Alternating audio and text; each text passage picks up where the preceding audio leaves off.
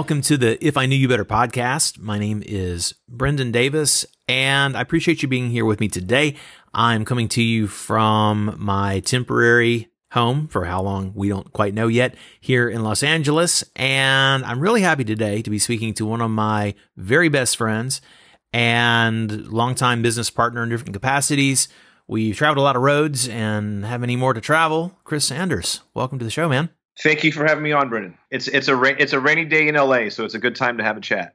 Absolutely, absolutely. And so you are in beautiful Culver City, which uh, I like very much. Your neighborhood's very nice. We're going to talk about a few things before we start to get into the super deep details, though.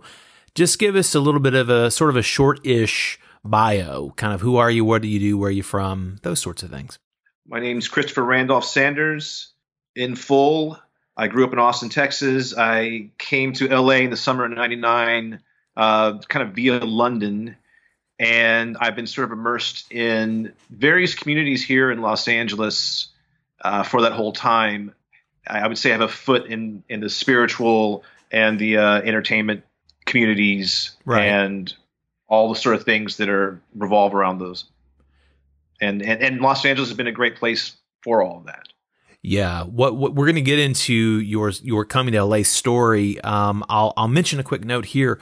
Also, I have this other podcast, uh, dear listener, Big Fish in the Middle Kingdom. It was my original show, and I've relaunched it recently. And so, what I'm doing is I'm also checking in with a lot of people all over the world to get sort of their COVID story, right? And so, mm-hmm. I'm putting some sort of shorter chunks just on that together, two or three per week. And I'm going to cross post this. So you may be listening to this right now on Big Fish in the Middle Kingdom. I'm recording Chris Sanders for If I Knew You Better. We're doing a long form interview. So we're going to be on for an hour plus and really get into some cool, cool stuff. So if you're just hearing this, this little COVID snippet on Big Fish, I encourage you to check the link in the show notes and pop over and check out the full interview with Chris. But let's talk about it. What has been your experience? It is April 9 as we record this. We're, we're releasing this April 10. So this is coming out the day after we record.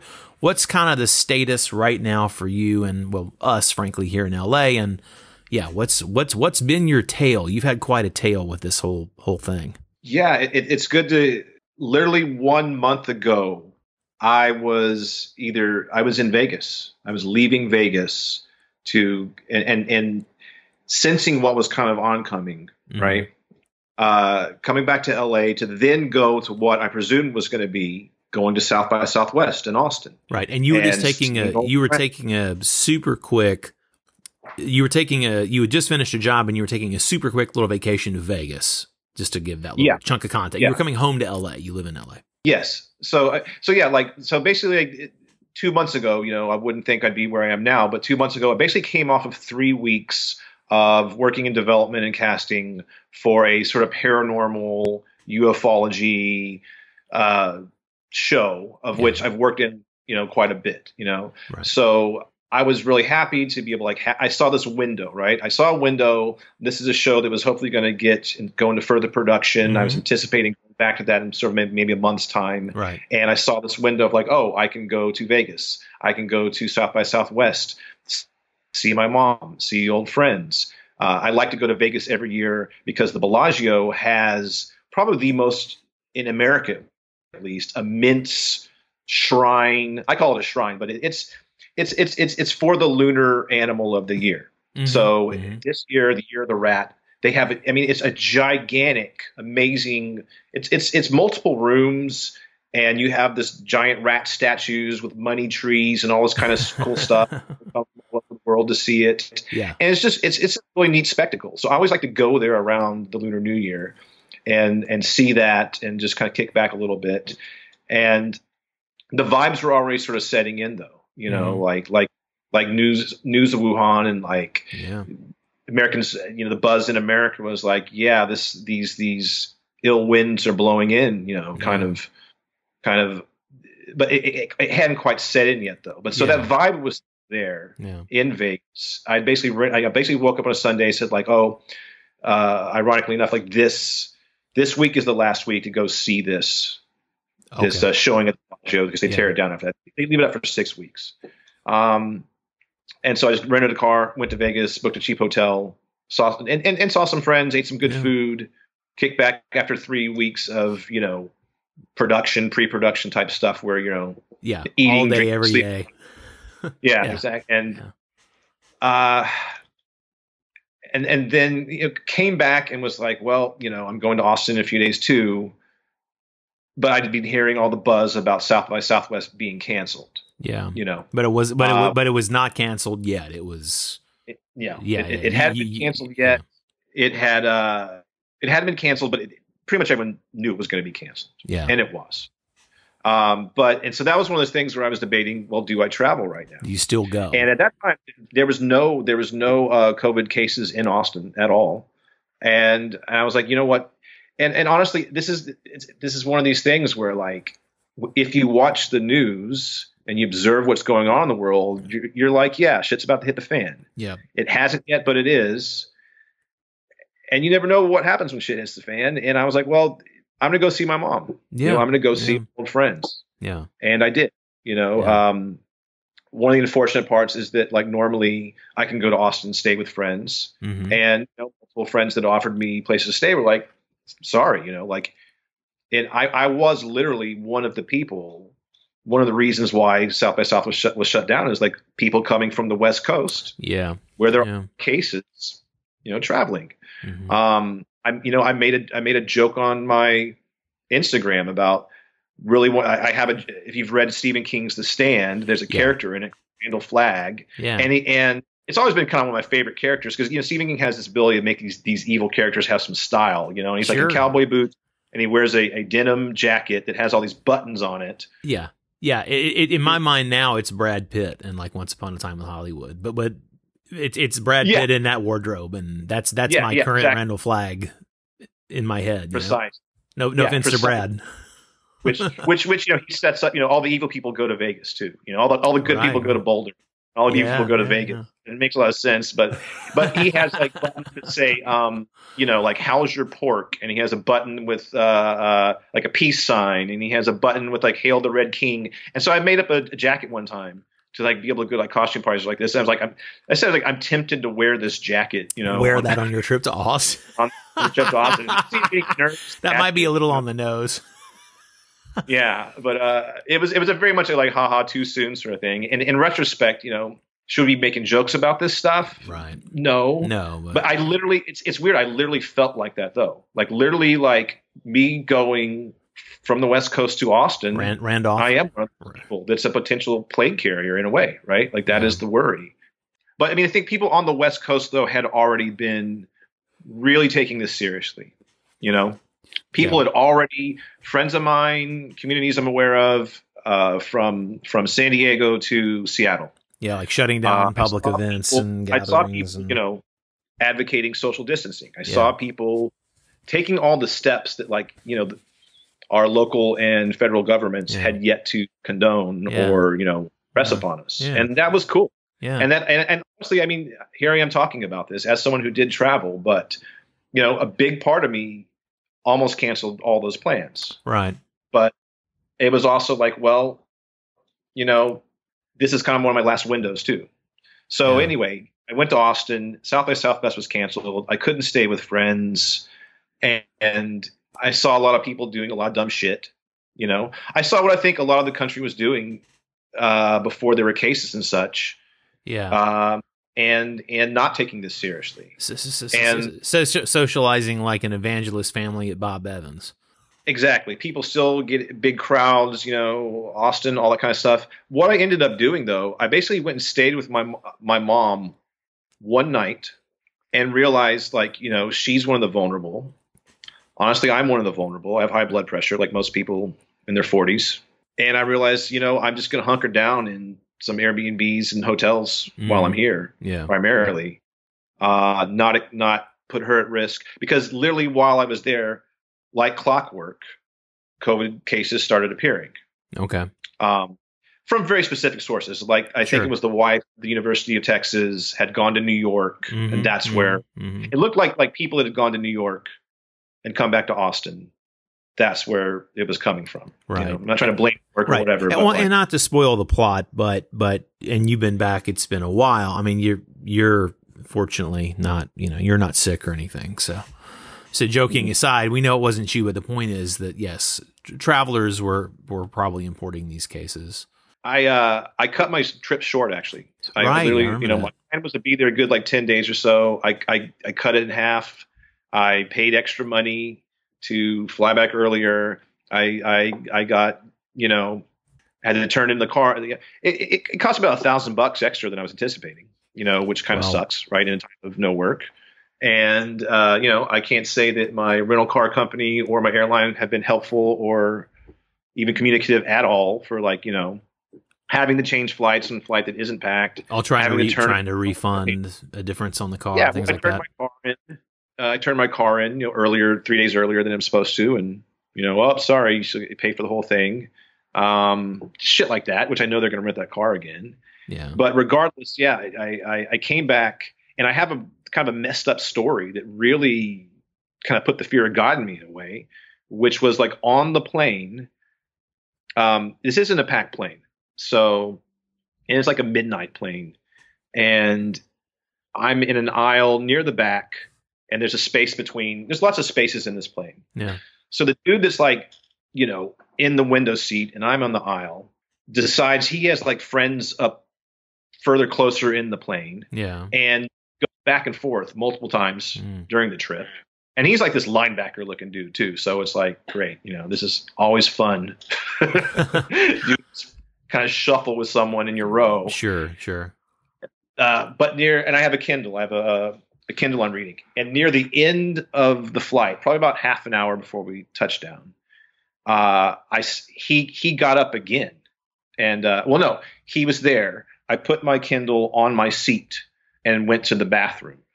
When I come back, he's gone, and I didn't think about this at first, but there was like this woman, and she's in a mask, and she'd been like coughing and stuff, and she's like in my row but like as soon as I get there, she sort of gets up and goes to the bathroom too. Right. So I'm kind of like, oh, and I was like, I was like, what was going on? I was like, that was weird. And then I noticed that my Kindle is gone. Huh.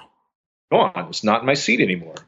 And I'm like, uh, uh, um, and I finally just kind of like say to the to the stewardess there, I'm like, hey, um, I had a Kindle here. Yeah. There's a, the guy next to me has been moving around a lot. He was here when I left. Now he's gone. And and my first thought's like that guy took my Kindle and went up to the front of the plane, is trying to make off with it, right? Okay. But then, and I'm just kind of like, what is going on here? And I'm looking everywhere, I'm looking on the floor, which yeah, is always lots of fun during a pandemic on a fucking plane. Yeah, yeah. Touching You know, everything. rubbing around on the floor and looking for stuff. And and then I look up and I see that the stewardess I was talking to is holding my Kindle. Mm. It's wet, like it obviously has like wet handprints all over it. Huh. And the woman that was in the uh, aisle with me, with the mask on, is coming out, and I'm just like, "What the fuck is going on?" And, and she was like, "Oh, oh, she she saw it laying on the in an empty seat, so she took it to like make sure she's looking out for." I'm like, "Who does that?"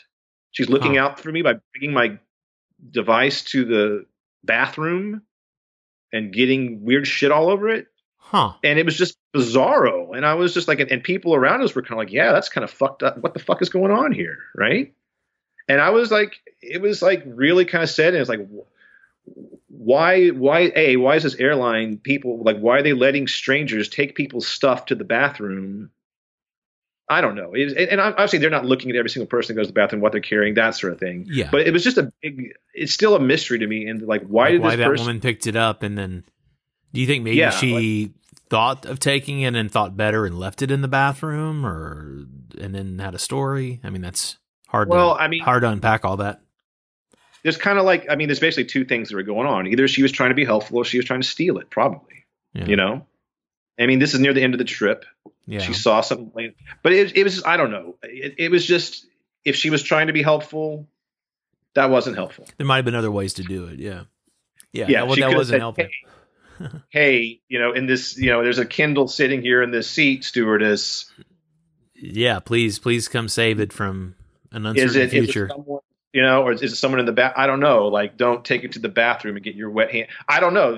Did she? It, it, there was like a weird vibe too, where I think the stewardess was like, like maybe new. I don't know. Like maybe she was trying to stuff it in her bag or something, and then didn't happen. So, I don't know. It's just it was just weird. That's the okay. last thing I want was to have this like coughing mass stranger yeah. take my devices to the bathroom and come back with handprints and wet stuff all yeah. over it, and like, yeah, sure. and I have to carry this off the plane now. Thanks. That's always. I would have taken. I would. I would have taken that in-flight magazine and wrapped it, and then you know. yeah, I mean, they gave me they gave me some sanitizer. I, I scrubbed yeah. it down, wiped it down really well, all that kind of stuff. But um, yeah. that was my return to LA. Okay. And it was it was a return of like, okay, yeah, people are doing a lot of dumb things. People aren't using their heads. We're in this real stressful situation and I'm just, you know, I basically got back. I went to the store. I went, you know, I went to all the uh, I went to all the LA, you know, mandatory places. I went to Target. I went to Trader Joe's. I went to Ralph's, and uh, that was about it. Bought a lot yeah. of food. Spent a, a, lot of money on a lot of food. You know, yeah. bought like month or two worth of food. You know, I didn't. Yeah. It wasn't hoarding. It wasn't crazy, but I had luckily gone to Costco a month ago and, like I always do, bought a big economy pack. So I'm, I was kind of mm-hmm. set. Yeah. Yeah. Uh, but yeah, I, I basically did that, and I've been in quarantine for a month.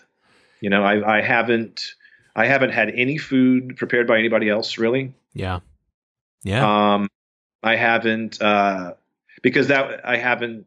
You know, th- that's it. Besides, um, I haven't. You know, I've been here. Yeah. I've been taking long walks. Yeah. Um, yeah. Everything. Been, uh, everything I've eaten has been from my own making. You know. Yeah. Uh, for for three plus weeks or something like that. I think and I the yeah I, I my uh my my friend Naeem gave me a lift. I don't have a car here in LA. Gave me a lift. Uh, we we you know did some shopping back before things got totally crazy. Although still didn't buy any toilet paper, for instance. Couldn't get that. But uh, but we went to uh, the Smokehouse restaurant. Mm-hmm. And and and we were gonna we were going to have some food anyway, and he said, "Why don't we go? Let's, let's go someplace pretty good because it might be a while before we have any." Like you're right, and it is. It was. It's like that was my last. Yeah. You know, that was my that was my last uh, my my last public outing, probably three plus weeks ago. So, what are you thinking about? What let's we're gonna sort of do the, the sort of the quarantine related stuff, sort of mostly here in a chunk, so I can share it on the other show. What are what's yeah what's what's been you mentioned you're at home and obviously again you're you're sort you're like me you're mostly I mean, you lean a little more toward TV, but you know, we're both in film and TV world, and of course, development is one thing, but then actually producing or pre-producing a show requires that you are with people in a place doing yeah. a thing, and that's not happening now. So, other than like writing and development, and then maybe on the other end, some some post production, some editing can happen. But so, what are you? What's been the immediate impact on you? And what do you, what are you sort of looking at as your sort of near term reality with all this mess? Well, I you know I want to preface that with yeah, those of us that do work in TV, film, creative content, things of that nature. It's often a gig based yeah economy and and source of income. Right. So and and, and oftentimes there's dry spells. Mm-hmm. Uh, so for me, a month of what it's been like in some ways mm-hmm. isn't that drastic than what some you know slim times I've experienced. Before. Sure, sure. Yeah, you know, we all have. Um, like all my friends that I know have the normal kind of Monday through Friday nine to five and have had you know careers in that regard for years and years and years. Yeah, I can see how this is like this can be almost traumatic. You know, but for me, it's traumatic like, for a lot of people. Yeah. Yeah, I mean it's I mean but, it's it's traumatic at various levels, but for me it's like ah, spending a month, you know, having tuna sandwiches or whatever. Yeah, that's for my main course or whatever. Isn't isn't it's something I've done before? Yeah, in a way. Yeah, you know, yeah. Um, uh, the the uh, having to practice solitude because you don't have the money, you know, kind of fuck you money to go out in L.A. and like go yeah. to clubs and go to bars, and go to special things and go to yeah. the Hollywood Bowl, all that kind of stuff. And, uh, not having that and like going months at a time not having that and having to still enjoy your life in Los Angeles. Sure. Sure. Um, I'm I'm accustomed to that. I'm, I'm, accustomed to periods of time like that. Right. So in a way, it's like okay, this feels familiar in some ways, mm-hmm. but then obviously in so many other ways, it's not familiar. It's like in some ways I'm equipped for this. In other ways, this is a, a strange new world that like we're all experiencing together in, in certain conditions. So my experience has been familiar in some ways and you know frustrating mm-hmm. to say the least, least in others. Well, know, how, um, how the frustrations it, of engage with people socially. well, know? that's that's what I was going to get at. Is, is how is it changing your practical day to day behaviors? How how how is it changing more than that though?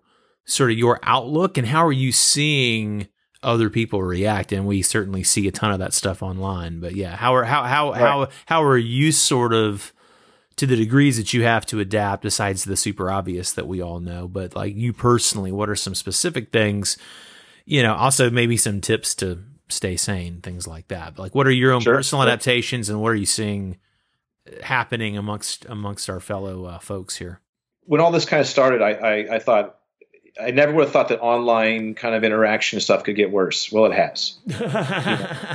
And Sorry. I'm going to kind of touch on that in, in a yeah. second. Yeah, yeah. But uh, as far as like personal adaptations, what I find that I, I want the most when I, when I'm feeling for it, I'm not not like all the time. Is like I miss the sound of human voices. Right. So I encourage people. I'm not one of those people. I, I, try to be a digital minimalist in some ways. I'm not very yeah. good at it. Yeah. But I do try to be conscious of how much time I'm. I'm. You know, I'm. I'm Gen X. I'm not. I didn't grow up on texting. Yeah. Right. I don't really like texting a lot. Yeah. I see it's, it's and I'm not saying I don't want it in my life. But a lot of people of all age ranges just want to text all day. I don't. I don't either. And, and it drives me yeah, drives and, me fucking crazy. And I'm. I'm, I'm hearing from all these random folks. And, and and hey, I if we're friends, that's awesome. But I'm hearing people I do not know at all. And it's and it's not just like you know the bots, but it's like, hey, I just want to say, hey, what are you doing? Hey, uh, okay, well. You know, it's been a lot of that. It's been a lot of random, like we've never talked before. yeah. Know? And and yeah. and if you, and, and, I'm happy to talk, but I mean, if you want to talk about something, you know, I don't want to talk about the right. weather. Well, and so for me, the, the, things I didn't like before, right? Like like you, like have been have been dialed up, and sure. it's like, oh man, like like like like there's like a couple people that like I uh, I'm messaging, you know, in various platforms too um, where I've said, "Hey, well, let's can can we just like talk about this?" Or, "Hey, you, can we give you a call?" And like some people, you know, some people are very much like I'm discovering think that's weird, or that's yeah. that's or they think they think typing on a computer is more genuine and authentic, or at least equal to having a phone conversation, a voice conversation. Yeah. And I completely disagree. Sure, I completely sure. disagree. And I don't understand how anyone can think that. They're like, well, this is communication. This is, you know, or even like like like like we do sometimes, like leave instead yeah. of texting a bunch, yeah. leave a voice message. Like you're you're much better at the, at than I, you know. Well, I'm better at uh, filling up your I'm, I'm better at filling up your thread with with 10 minutes worth of them, but but we but we but yeah. we're we're used to like because we've we've been friends a long time and travel in a lot of circles and we work together on and off for years and we keep each other up to date on just general stuff so because I'm normally in Beijing and the time difference is the time difference, yeah, yeah. it's pretty common that like I'll send you five or 10 minutes worth of messages and then whatever the eight hour differential that, oh, okay, now you're up and you've had your coffee and you're catching up on stuff and then you'll reply. And that's just kind of the routine. Right. In our particular case, that I've, I've got this similar situation with a few dozen people, you know, but that's, sure. I think that's, yeah, it's, it's interesting that, that, that, I mean, especially younger people that are just really fulfilled. I mean, they just they they I think they just want the touch point. You know, I think I think that's why some people are gen- genuinely fulfilled. Is they like the touch point and just like even the quick text with a quick reply kind of does it. But what drives me crazy is when it's like that never ending ping pong match without yeah. without kind of saying anything. And if it's and if it's yeah. just to say hi and chit chat, well then yeah, let's do even if it's uh, okay, let's do a ten minute call. You know. Let, us yeah, let's exactly. let's actually let's actually chat or throw on the video and just say hey for a few minutes and and you had much exactly. more connection with that person than like some little disembodied thing. But right. yeah, you but you were saying you you you I know you've we've talked about this a bit just amongst ourselves offline that uh I mean, you mentioned people are yeah, a lot of people are in a horribly stressed position and I'm not without stress myself, but having worked mostly for myself for most of my life, I'm yeah, I'm just using I'm busier than ever at the moment. I mean, some things are on pause or having to have a rethink, but I've got other stuff that just doesn't mm-hmm. stop. So I'm yeah. busier than ever. And so yeah. I've had a few people just like randomly call me without a warning. And that's that is the new paradigm, right? It, it's considered rude just yeah. to call before you kind of check in. Hey, I need to give. Is it cool if I give you a quick call? Oh, give me five or give me ten or right, tomorrow. Right, right, right. But but I've had a handful of people from other sort of cultural dispositions or other some Americans actually, but but I've had a few people just randomly call at weird times. Mm-hmm. And uh and it's funny because I mean I'm I'm this sounds like I'm saying that I'm self-important. I don't mean it like that. Just random calls would interrupt this interview. You know, we're right. doing this on the internet, so right. so random calls don't kind of work with the schedule. But but we're seeing some pretty.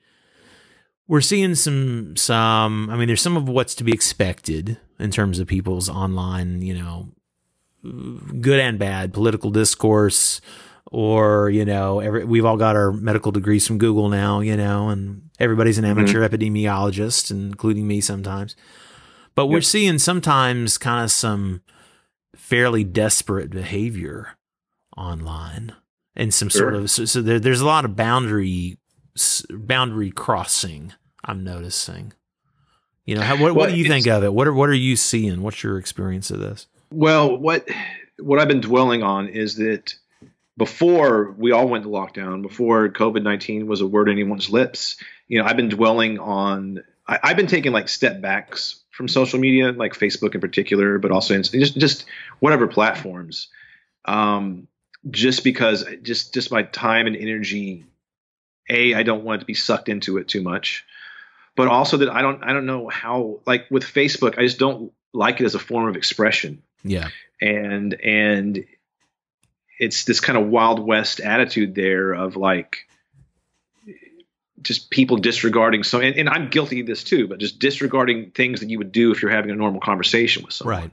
right. never liked that aspect of it. Right. And I've always liked to use social media as a t- either as a tool where like I'm casting a show yeah. or I'm looking yeah. at something, yeah. want recommendations, like kind of like you know just the facts man kind of yeah, kind exactly. of pose. Yeah. Or what I say is it's either that or like something that's just sarcastic and just kind of like yeah. off the cuff. Yeah. It's not that big of a deal. Don't take it that seriously. Yeah. You know. Yeah. Uh, and th- but th- there doesn't seem to be any room for nuance mm-hmm. or people just sort of checking in about stuff. Um, and it's it's people say they have social anxiety. I, I have like social media anxiety. I feel that's the quote you know, of the like, show. Like, I think like yeah, like yeah. waiting wading into uh, uh, these social platforms sometimes and just seeing what's going on with people. And it's like, I mean, it's like I feel like a, uh, um, I posted this a few years ago. It's like I feel like we're in an era where like people. I've literally been told this too. Like they judge you on your silence on social media. Right. And I'm kind of like, well, you understand that this isn't like mandatory, right? Yeah, we understand like, this is we didn't all sign up and say like Facebook is now my official voice and platform for everything I think about and everything I hold dear and every opinion and political alliance and thing that I support. No, it's not. Like when did it become that? When did yeah. we all agree that Facebook is our voice? Yeah. Or if you're an Instagram, that's your voice, or Snapchat's sure, your sure, voice, sure. this kind of stuff. Which, by the way, I'm, I'm you know, I'm patting myself on the back as a good Gen Xer here of like I still don't have Snapchat. Okay. You know, and I don't I don't want to add your Snapchat. I had it and I just, you know, I understand that it's for for for for, you know, I, I it, it's not for me. Yeah. It was it's it's yeah. not for me basically.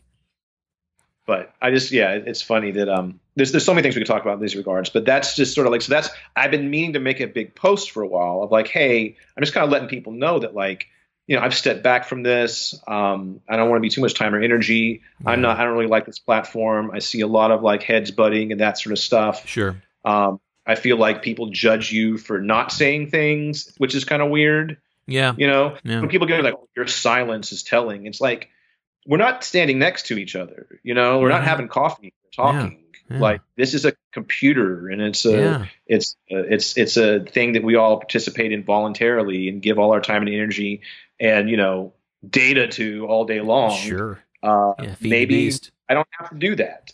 I have plenty of friends that uh, don't have any social media. Yeah. And you know what? They're great people. And I like hanging out with them in person more than I like arguing on the internet or having yeah. to explain myself on the internet when there's uh, miscommunications or people people make a lot of assumptions that think about things too. I'm, mm-hmm. I see that a lot. It's like you you say something and then that turns into this whole big thing of like, wait, no, but I didn't say that. You know, Th- this is one thing I've been thinking about a lot. This is something that really frustrates me what I see online is a lot of, you know, people use the word echo chamber, and it's cliche, but it's true. I see a lot of people that all day long, all they do is like say something. Here's my statement, and then everyone hops on and agrees yeah. with them, right?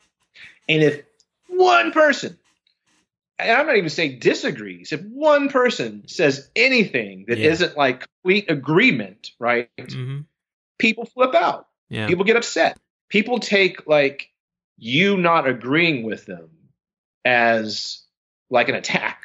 It, it's it's like, it's like it, it, it, it's like a digital version. Uh, there were less politically um, less politically correct names for this game when I was a kid, but uh, a, a slightly more family friendly name is uh, is kill the guy with the ball. like like on the playground, you know, like you know the the rule was like you kind of kick the oh, ball yeah. around, and then like there's on a certain like you know on kick number five, whoever gets it, they got to run, and you got to get them.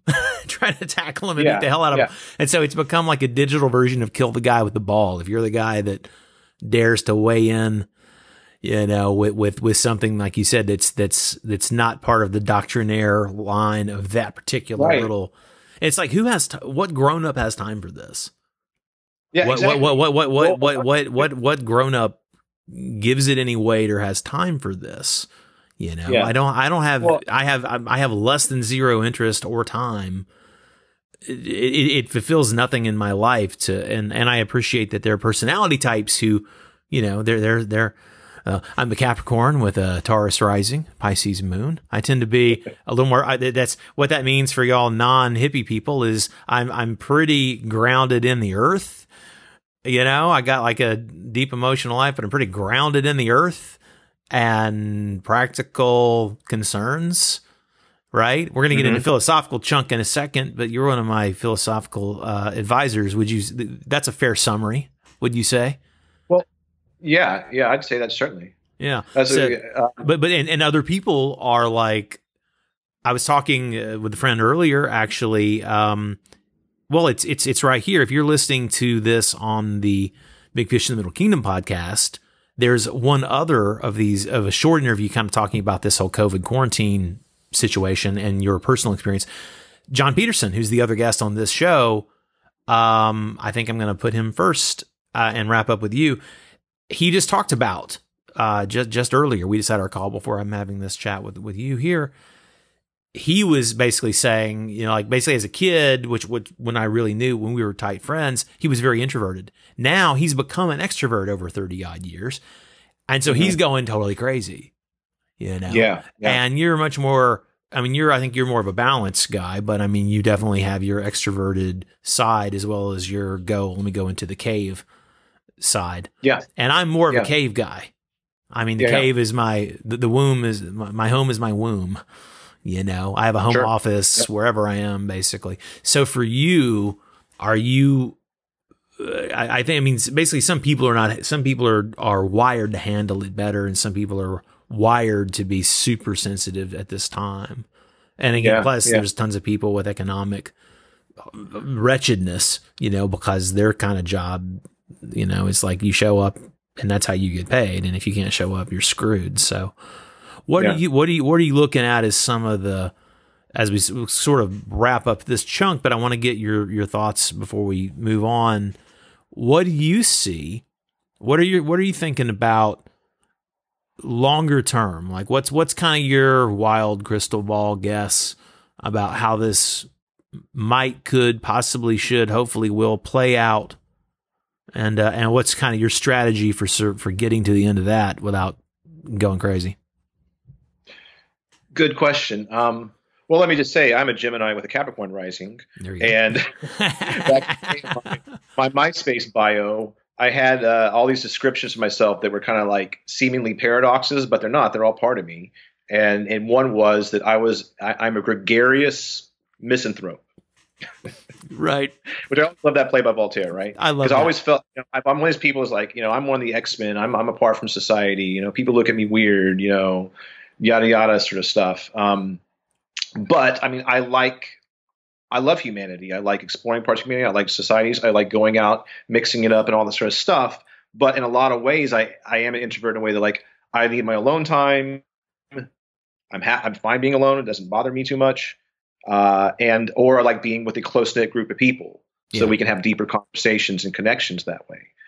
Uh, and as far as solutions now for people being isolated, you know, I, I want to touch on because we, you know, we, we we criticize sort of social media culture, but th- there's so many aspects that I do like, and I do get that everyone has different needs, different ways they want to express themselves, and one of the it's, it's the double edged sword of I feel like a lot of people like myself didn't grow up with social media. Yeah. Well, every human wants a voice. Everybody wants a voice, right? And social media has provided people with a voice, and especially people that are introverted or don't get out much yeah. or shy or, or wh- whatever it may be, um, but do want a voice. Social media has provided that, and mm-hmm. that's a good thing. It's a healthy thing. Sure, it's a healthy thing to be able to speak your piece and be able to have a voice and to be right. heard, and that's a good thing. I just think people, when you let that become your official voice or the yeah. voice that you put all your emotional energy around. Yeah. I don't think is a good thing. Yeah. You know? Yeah. That's what causes problems in genuine communication with people. Right. So it's good that we all have a voice, though. It's good that the modern technology has given creative types um, the capacity for you know at least at least a couple decades now to do things that were only in the hands of the wealthy and, and people with the resources and, and whatnot before. You know, you can do you can film a movie on your iPhone now. You know, you don't need right. a production company. Um, right. I don't want to see it, but you can do it. So I'm just kidding. A lot of there have been some great ones like that. Yeah, exactly. So obviously, um, I'm trying to encourage myself and encourage others. Let this be a creative time. Let this be yeah. let it be that time to write that book.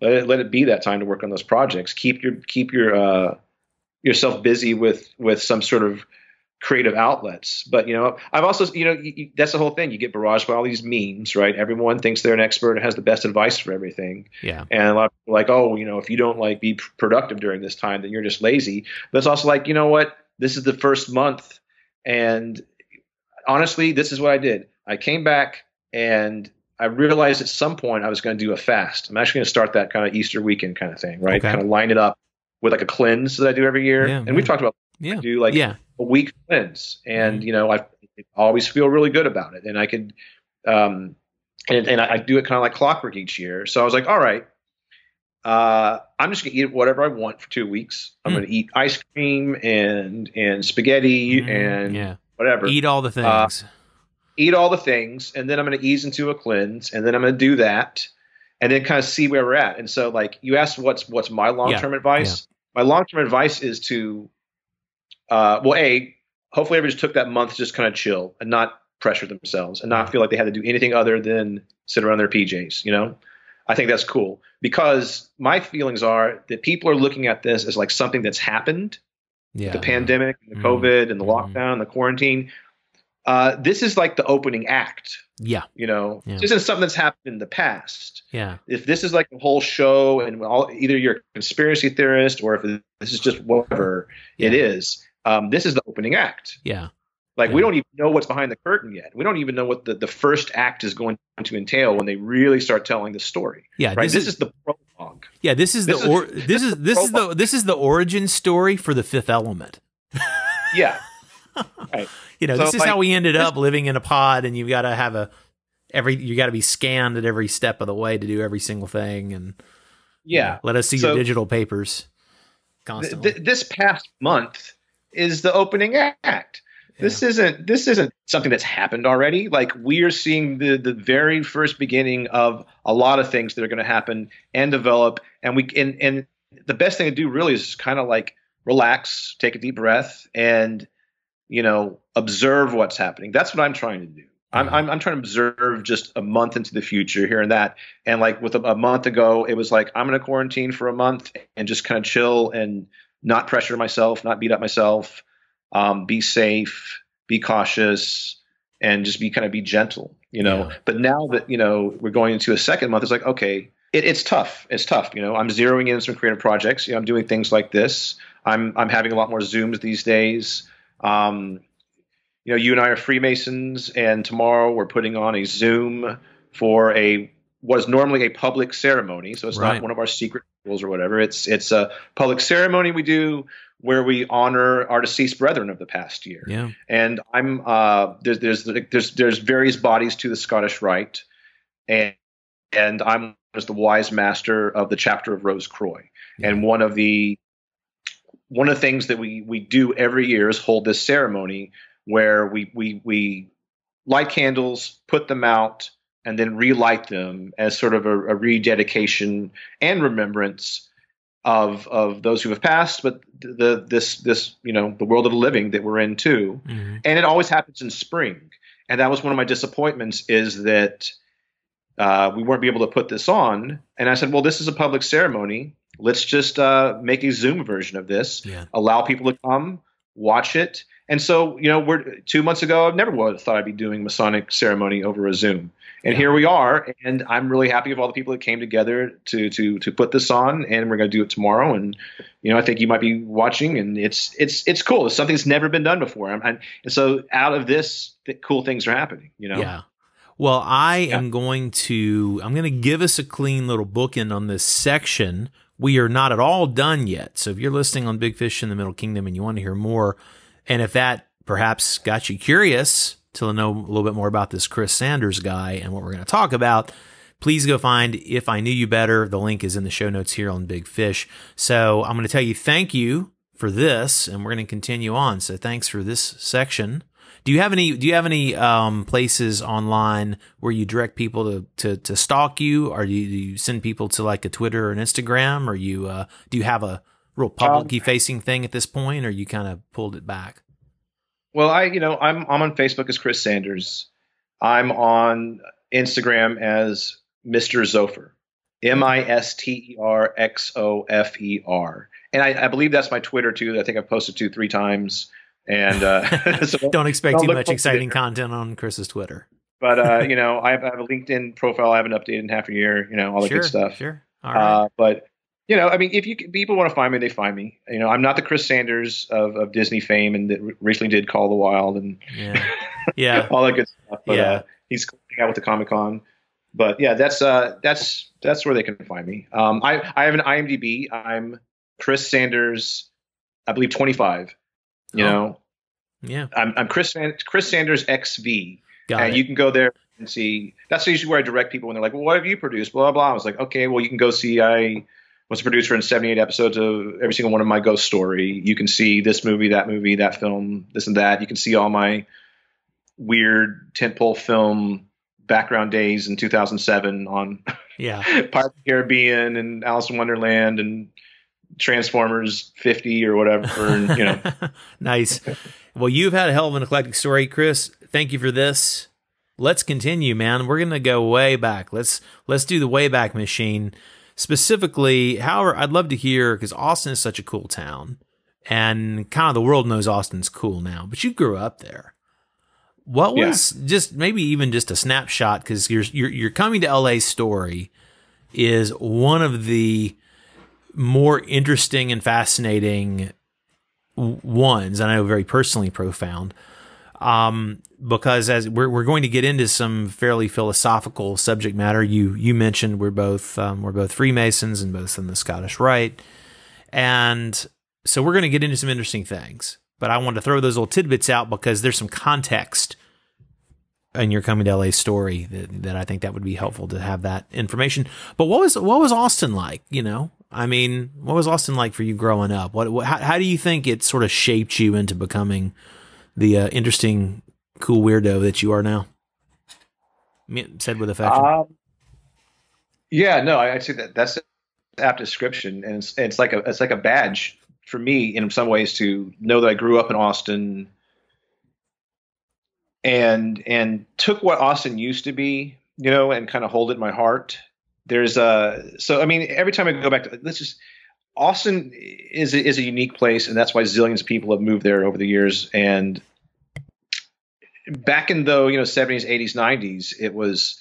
I mean, this is for the thing. I saw like Nirvana play when I was a skater punk, you know, on their Bleach album. I think it was 1989, 90 wow. type of stuff. You know? mm-hmm. It's it's a it's a city known for you know, uh, for well, you go into the airport and they let you know it's the live music capital of the world, and it's yeah. sort of had that claim to fame since sort of the '60s and '70s with the whole kind of cosmic cowboy, you know, movement, all the blues, just lots of cool stuff. Yeah. You know, it, it was like a a a place where you just go downtown, go different places. There's always music playing, and be exposed to that.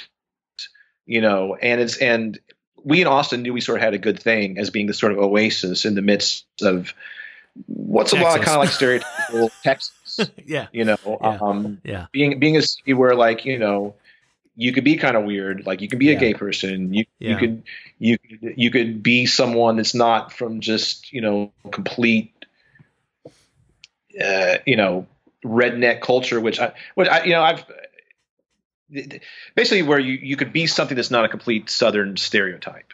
Right. You know. Right. Yeah. You know, well, you can, being being from the South, you, I totally understand and relate to that. Right. Yeah. I mean, and, Athens, Georgia so, was there was the possibility in Athens and Atlanta, although that's another story. It's my story. But you're, but yeah, for right. you, for Austin, it's because it's changed a lot. And now you know, South by Southwest conference is now this major, major thing that you alluded to in your, in your introduction. And, um, in the beginning of your your your quarantine, chasing, getting ahead of the quarantine story. Um, but yeah, it was it was uh, Austin. The spirit that Austin had sort of developed is what became kind of commodified and commercialized and mm-hmm. marketed yeah. to the world, and it's still there to a degree, but it's also it's it's sort of it, it's it's sort of packaged hipness now. I mean, yeah. Well, I mean, Austin, there, there's like a vegan cold brew you know, non-GMO coffee place on like every other corner, and and that's and not that that's a bad thing, but well, but what, it's kind of become that. The thing is, so I mean, Austin used to be full of characters. You know, a lot. I mean, I mean, you know, Austin was Slacker. If you ever saw Slacker, yeah. you ever saw Richard yeah. Linklater's first film that won him acclaim and like sort of set him on his path, yeah. that was Austin you know, just all sorts of random weird characters. It's very sort of a college town at that point. Um, it was it was a liberal oasis, but you still right, right next to all the things that you know. I mean, good things about Southern culture, you know. Um, sure. Lots of amazing food. Yeah. You know, when I was going to say food. yeah. Everyone here is uh, uh, terrified of my three favorite things, you know, cheese, sour cream, and, and butter. Which I mean, that's my that's not my three favorite things, but those are those are kind of yeah. like you know staples of. That, that's, that's uh, a good start to a list, though. Of of, of, of you know, yeah, yeah. a lot of good food in Texas, you know. Exactly. But uh, you know, it, it's uh, it's it's it's it's just I don't know. It makes me sad when I go back to Austin. There's so much development, all these skyscrapers, all these places. Like I grew up on I grew up on the east side, you know. Um, I grew up in a, uh, where if you know if I rode my bike more than a mile one direction, it was like you know kind of cracking hookers. You know, honestly, I mean, it, it was like any town where you had your pockets of of you know kind of bad stuff going on, and but but it was also like you know like Austin isn't well, okay, so so long story short though, like those are all like gentrified like bar neighborhoods now with a guy in suspenders and a, and a, and a handlebar mustache that wants to make you a mixology drink for eighteen fucking dollars. I don't need the. He's got his atomizer. Fuck? He's got his battery powered atomizer in the little cart. Yeah, yeah. And it's just like, and it's been it's been that way for a good solid fifteen years too. Yeah. You know, right. it's um, it's not the Austin I grew up in, and you know the traffic's really bad. Um, but like, I mean, the like it's just been engulfed with suburbia mm-hmm. in every direction possible, tons of construction. But in, in a lot of ways, it's lost its soul. You know, I'm just going to say it. And most of my friends that still live there agree with this. And mm-hmm. like, I, I, you know, you, and like, like I said, it's been this way for a long time where all the places that used to have the kind of neat kind of mom and pa music venue bars and such are all like, just like cheesy yuppie clubs, mm-hmm. you know? Yeah. And I'm not that's 100% Austin now. Sure. But it's overwhelmingly present Yeah. that most people there are, you know, bridge and tunnel crowd, or they're not. They're not from Austin. They may not, probably not even from the South. Um, they're from somewhere else, and they went to Austin because they. It's it's it's it's a, it's a party town. You can do a lot of cool stuff and eat a lot of good food and have a lot Yeah. of fun. But like a lot of the charm and and you know keep Austin weird. You know they were the first well, to well, to coin the term, and Yeah. and Austin hasn't done a good job of keeping weird though. Honestly, like Yeah. it, it's kind of sucks, but it's like, what are you gonna do? Yeah. Well, it, it's funny because I, I found myself in a conversation with somebody once. Austin came up talking about it and like, what's it like? And I said, well, you know, I I said the, the people who used to really be attracted to Austin, it's like, you know, the actor Matthew McConaughey. Yeah. It's like, you know, it's kind of out there. Uh, you know, there was a whole thing where like he got, you know, arrested for like being howlingly drunk and like playing bongos naked with his friend in the backyard in the middle of the night. I would say, yeah, okay, well, uh, he lives in Austin. Yeah. And imagine it, it used to be like, you know, a few thousand Matthew McConaughey's who weren't famous. Yeah. like guys who, Yeah, you know, exactly. on a random Tuesday at 3 a.m. might be playing bongos naked in the backyard around a campfire and howling. Right, right. No. know? No, I mean That was there, pretty par for there the was course. Yeah, there was a reason why like Quentin Tarantino fell in love with Austin in the '90s. You know, Yeah. and I I ran into him and and uh, Robert Rodriguez in a in the diner I always hang out at. You know, one time in I think '97 and like was like, you know. Had that little slice of being able to like eavesdrop on, on that conversation, and you know that's why like film blew up in Austin, and they, they, a lot of stuff got made there. You know, it's why people like Robert. You know, Robert Rodriguez known for doing Pharmaco, like that was what you did. I did Pharmaco.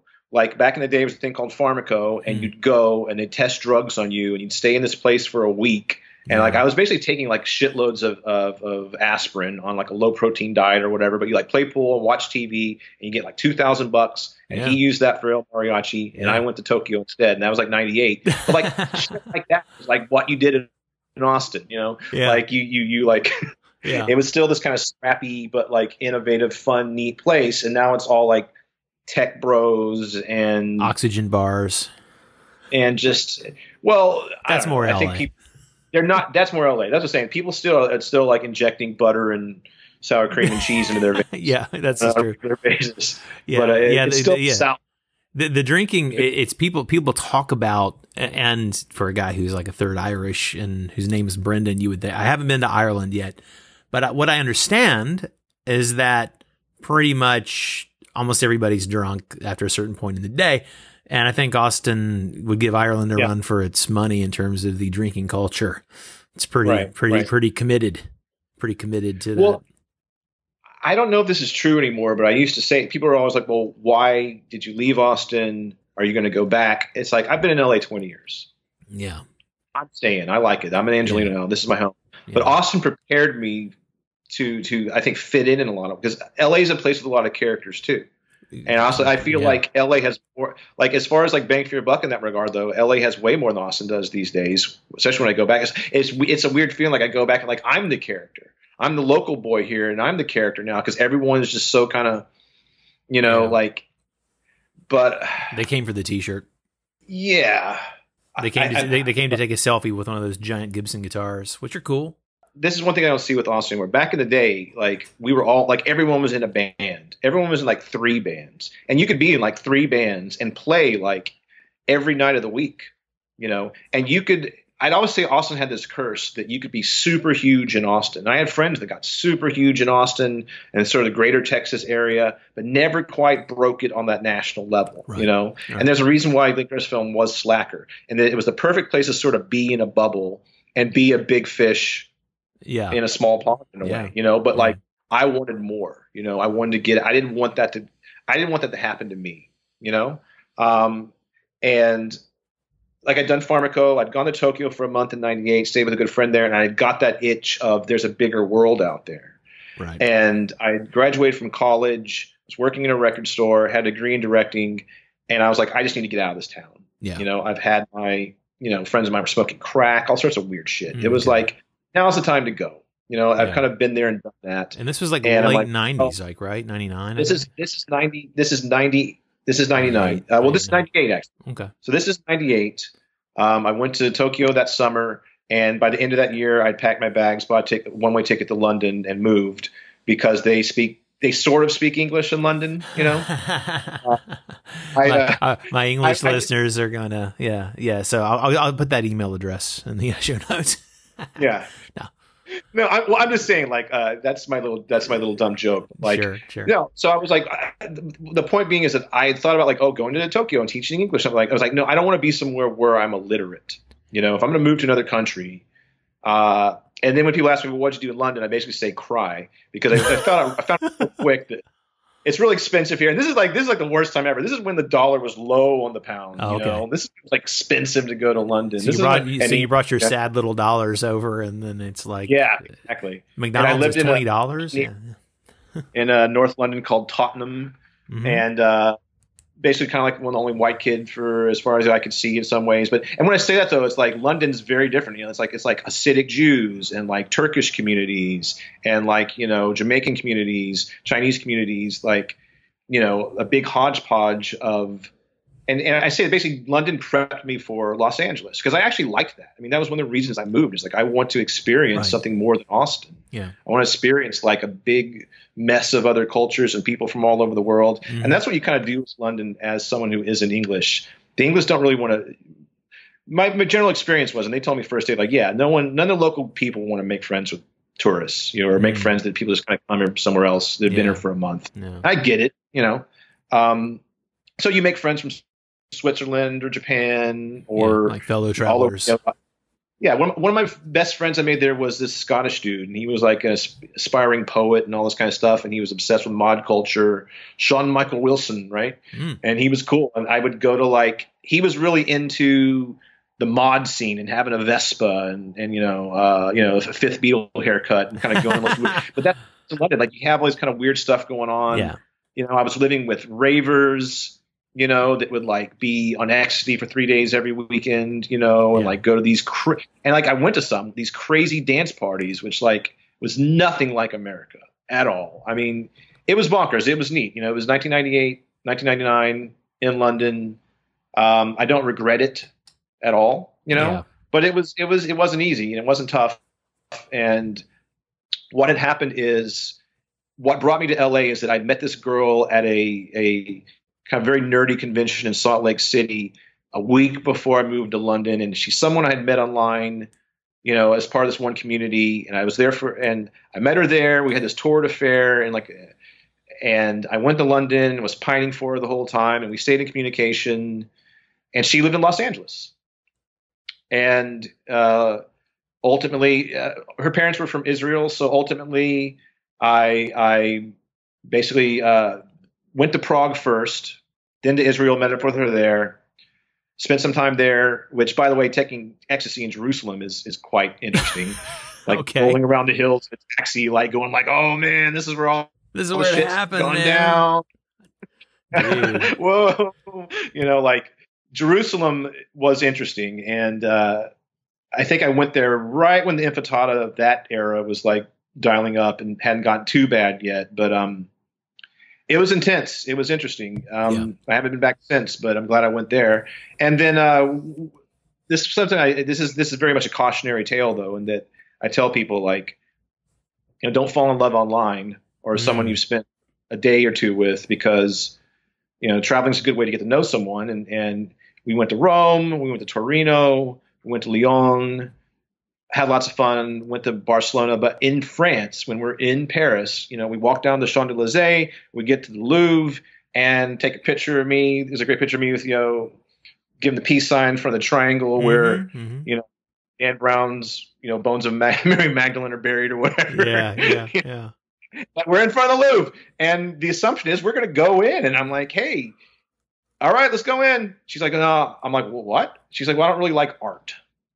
Oh my gosh!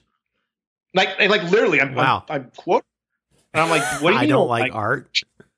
Like we're, I'm like, just humor me here. Then I don't know. Like, what else are we gonna do? Yeah, Which we're in Paris, and there's a lot to do, but that's one of the things you probably want to do. If it's your first time in Paris, that's the thing you should do. Yeah, You go see this the Mona And you Lisa. can't go to. Paris. It's online. It's awesome. Check it out. But please continue. Well, anyway, that was uh, the beginning of the end. Mm, okay. You know, and in some ways where I realized, oh well, hmm, maybe this isn't my life mate. You know. Yeah. Uh, but basically, I move in with her, move into LA, uh, little apartment off of San Vicente and La Brea, and eight months later, I'm living in in uh, this kind of like weird rental place in Culver City. Um, going like, wow, I have no friends here. I don't know anyone. This kind of sucks. I thought I was going to move here and get married to this person, and I live in LA now in a weird little apartment. Is this that little, Little room. apartment that Carl ended up living in later?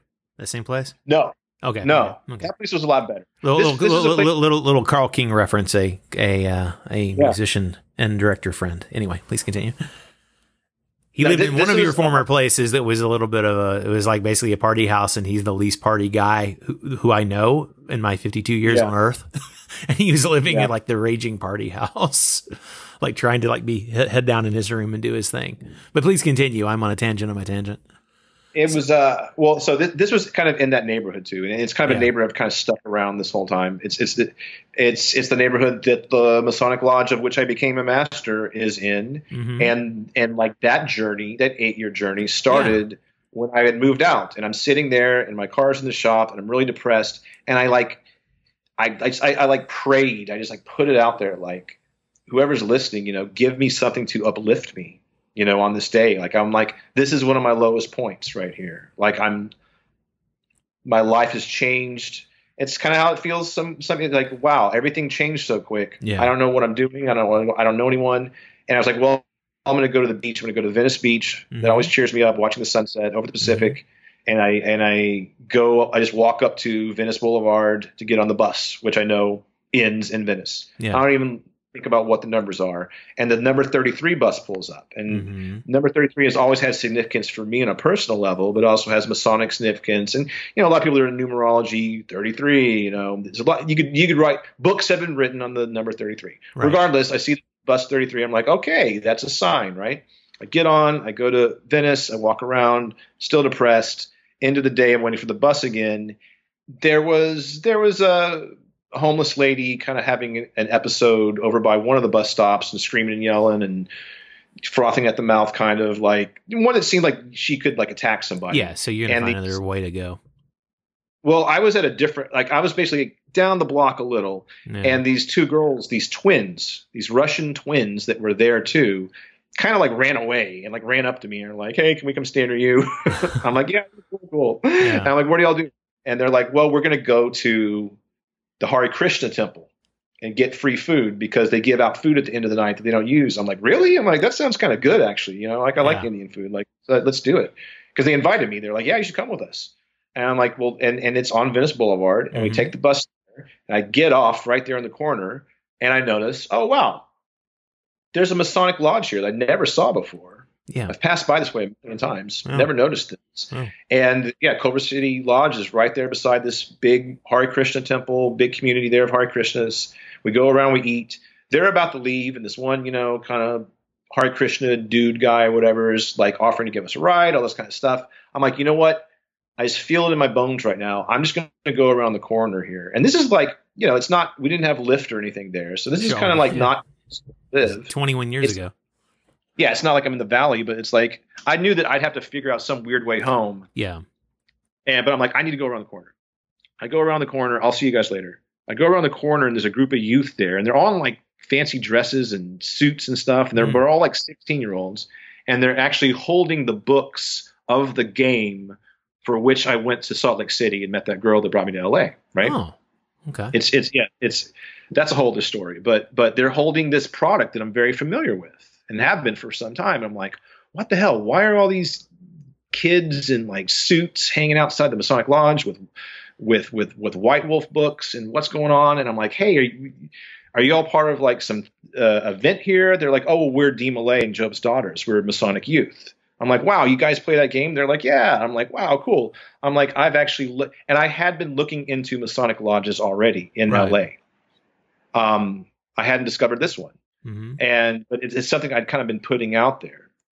And they're like, well, they're, you know, you should go upstairs and talk to some of the brethren. Yeah. You know, they're up there right now, and I did. and and one of them gave me a ride home. And eight months later, I mean not eight months later, uh, eight well eight months later, I I was I was a master mason, and I was being you know installed as an officer of, of junior steward in my lodge. Yeah. You know, and and that's where that all began. And I met I met some very important people um, that have been part of my life ever since then. hmm And eight years later, I I worked my way up the line at that lodge, uh, and was ma- installed as master of that lodge, and that Yeah. was over 12 years ago now. And that was that to me though that that's always stands out as one of the most profound stories of of kind of coming to LA and asking for something to uplift me, and at the end of the night, arriving at a, a, a place and and arriving at a you know community worldwide community Yeah. at the doors that would you know to this day be a daily factor in my life that kind of shaped me to be who I am. Yeah. You Yeah. know, so, sometimes your prayers, sometimes your prayers are answered, you know, Yeah. and Yeah. like with all things, there's ups and downs, and you know, Sure. you know, Freemasonry is an idea and a philosophy in a lot of ways. Then it's composed of people. yeah. know. Exactly. Exactly. Whenever we throw people in mix, you know, it's not it's not always, not always the perfect thing, but that's our philosophy is that we're trying to make ourselves better, you know, Yeah. throughout our lives. Yeah, I, well, let's let's. Uh, this is probably as good a place as any to sort of get into that. But I, I guess I want to let's let's start. This may take us on a detour, possibly, maybe not. But w- what was your connection or interest? What what was what was a connection or and or interest to Freemasonry, and then and then maybe talk about because because there's a misconception that some people have that that we can't talk about it at all if we don't want to. You know, I, I mean, the reality is we yes, there's certain things that are private, but I mean, an individual chooses whether or not they talk about it. There's no there's no rule that Yeah. you can't mention this is something that you're part of. But Right. so I'll be curious again, especially because you have had all the the time in that you've had to get your take. But but what was your connection to it? Did you have a you have a family connection? Uh, I believe. I do. It's it's well, it's interesting. Everyone, there's a lot of misconceptions that you have to be born into. No, it's not a it, that you have to- requirement. I didn't think I had one when I Right. found out differently, but yeah. But yeah, but that's one of the things. They're like, oh, a lot of times what people ask me is, oh, is your father a Mason?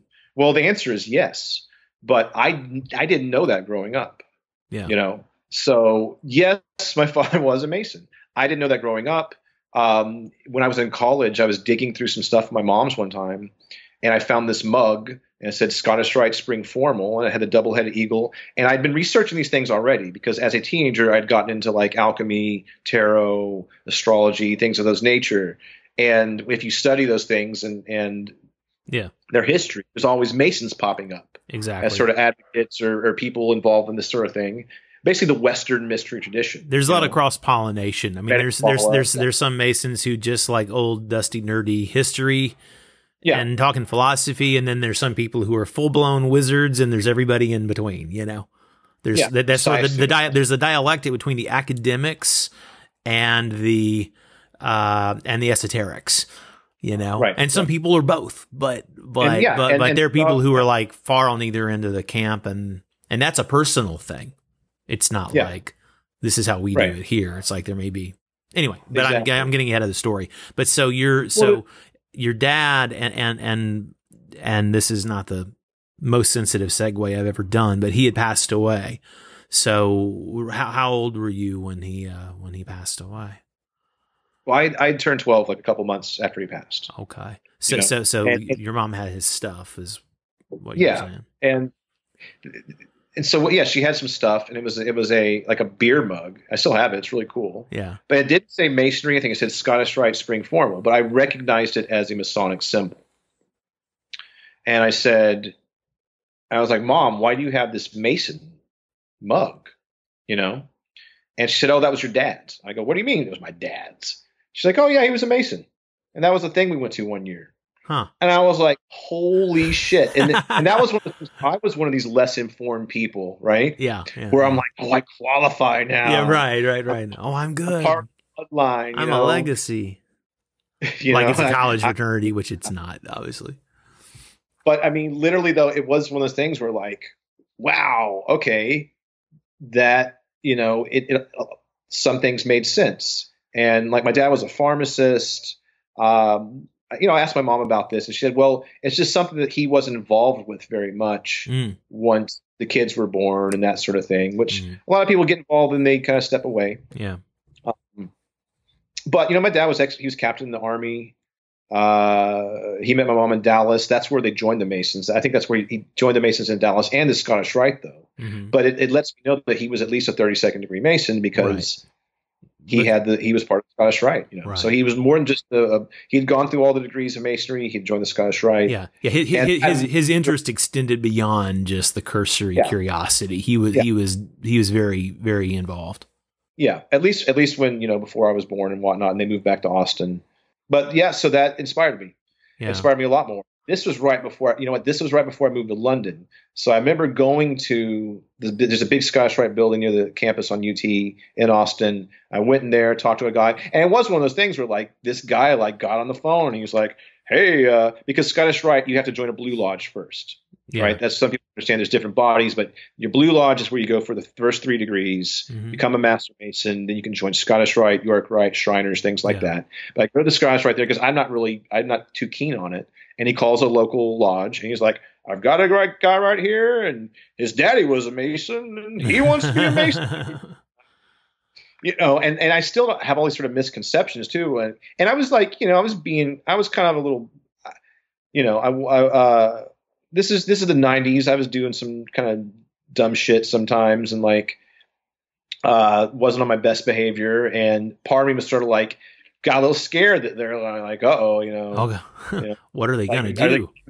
find out. I smoked a joint once or something you know. Uh-huh, like you know, uh-huh. what are they how you know this is like whatever. Uh, so i kind of put on hold. I didn't and i knew i was going to london so i went to london came back but that interest was still there.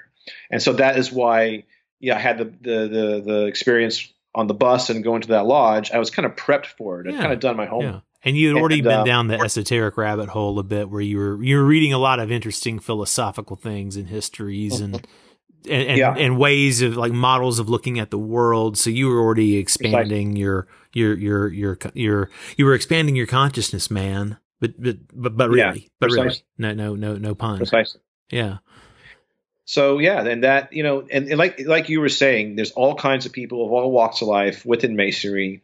Um i think sometimes like i'm one of those people that came to it hoping for and expecting a lot of real cool kind of esoteric stuff. Hmm and oftentimes people are disappointed in that regard Right. but it's because they're kind of not they're, they're not seeing the forest for the trees. They're not seeing what is there for them in that regard. And they want to come in and shake things up. Um, because there's there's there's there's a lot of people that are there just for kind of purely the fraternal aspects right. of right. being part of a community and being part of this people say i don't like when people say there's esoteric masons and non-esoteric masons because masonry is esoteric by Right. definition Exactly. doesn't Yeah. matter if you Yeah, like yeah. all this other stuff or not. It is Yeah. like, and we're not uh, uh, we're not a secret society because I'm like we have websites. Our our names are on Yeah, our drive by- buildings. That's how you saw the building, right? But right by the place where you had the had that great vegan Right. meal at that at that. I've, Yeah. I've been over there with, with you. I've been over there many times myself. That's they they do Right. really good if you're in the mood for that kind of a vegan feed and very nice people. yeah. Well, But it's yeah, like a secret it's right there on the by definition. Secret. yeah, Yeah, it's secret. We don't we don't advertise who we are and wear rings that we can recognize each other by and Sure. everyone can see. sure. Uh, but to me, it, it's been a great experience, you know. And people say, "What's masonry?" and and and all the good stuff is to me is in the in the first degree where we talk about humanity uh, as as one family. Mhm. You know, Yeah. people think, "Oh, well, masonry is just old white dudes or whatever." I've met people all over the world. I've gone to lodge in Hong Kong, um, the UK. I mean, Yeah. I've gone to lodge in Costa Rica. Yeah. You know, Yeah, um, it, it is it is all over the world. It's all kinds of people of all walks of life. We're not a religion. We're lots of different perspectives, and I like that. I like that I meet people that I wouldn't normally meet, exactly. and that we use geometry. We use temple building as an allegory that unites us all. Mhm. You know, all cultures have geometry. Um, all cultures have some sort of temple building and architecture involved, and we can use the uh, we can look we can look to the stars and we can look to the seasons on on the earth, and we can see uh, we can see uh, uh, some emergent intelligence there. We we can see a harmony there, you know. Yeah. And and that that's what I find interesting, and that could line up with a lot of different spiritual paths and beliefs and whatnot. Sure. But there is pervading universal wisdom that we sort of align under as Masons. It's a philosophical fraternity. Is the the yeah. sort of the most succinct way that I mean, yeah, I've heard you know, plenty of people have said that, but that that particular super shorthand definition is it's actually more appropriate than you would imagine if you get deep down into the weeds. But but it's and as you said, some people there were times, uh, and especially if I mean people from all over the world listen, but I mean especially if you have an American experience as part of your your life. If you drive through the country again, you see like when you come into a town, you'll see like one of those signs they have at the edge of town, "Welcome to Rockville," and it's got you know, here's our Kiwanis and the Rotary Club and then the Mason Lodge, you know, and it's like one of those, just one of those, you know, civic, social type organizations, but it's very much oriented toward philosophy and, and people who want to, to under, you know, who, who are inclined a certain way, basically. But, but the thing about it, the thing that, that I was most attracted to, because I mean, I was interested in, in you know, I mean, I grew up with a difficult father relationship and no, you know, only child, etc. So I was interested in, you know, meeting some other other dudes, you know, getting to know some other, you know, friends or make some friends, brother type people, or you know, mm-hmm. I need I needed some old I needed I needed me some uh some Obi Wan Kenobi types, you know, I needed a couple of couple of the old yeah, yeah, yeah. old wizards to to hang out with and and um so I, I found that, but I, I likewise have, you know, this isn't about me, so I won't go into detail now, but, but, and of course you know all this, but, you know, I also have, uh, you know, my, I, I had my pre-existing philosophical interests and esoteric interests and, and, and likewise since childhood have sort of had that and have always read and studied those things. So I was always aware of the fraternity um, but then as I, when, when it finally came to pass, the thing that I discovered, and I'd heard this, I understood this intellectually, but I didn't have the experiential knowledge, which one of my very favorite, this is a paraphrase of a quote, which you said these words many times in, in, in uh, official capacities. Uh, paraphrase that is is that masonry regards no man for his wealth or material position mm-hmm. and and so the fact of the matter, I, you know, sometimes people would say, well, what's it like at your dinners? I mean, oh, you know, I mean, people throw out all kinds of ideas. You know, some people it's like, do y'all just get smashed? Do you just like, is it a, you know, like a total, is it like the Moose Lodge? You know, it's like, yeah, it's probably, it's not so much, you know, but, um, yeah, we, we don't get to have a bar on their premises. Yeah, yeah, exactly. Yeah. Wine can be, one person can donate wine for the whole room, which is wild. But, but, um, now they do it differently. In New Zealand, they, they get smashed, you know, People are bringing bottles of oh, whiskey. Oh, have, yeah, yeah. They, lots they of places they, they they have a bar in the lodge. So um, the thing I was going to say really fast and throw it back to you is that the regards no man for his wealth and material attainments or position. You know, so at, at a you know people would ask what's like what's a dinner like and you could be at a table that's set up for eight people. And so there's me, like a basically a lapsed Southern Episcopalian, and you know kind of you know independent filmmaker producer and again it's like sort of feast or famine in my business right in our business mm-hmm. so to my left there might be a guy who's the ceo of a fairly prominent company uh, moving around the table there might be a guy who's a custodian at the local elementary school there might be somebody who is a semi famous or famous writer actor director musician etc there's mm-hmm. somebody who's a retired accountant. You know, there's a guy who worked in a factory for years. Um, in terms of sort of philosophical makeup, there is everybody from from maybe a a a Jew, a Muslim, Christians of many many stripes, you know, many kind of flavors of Christians.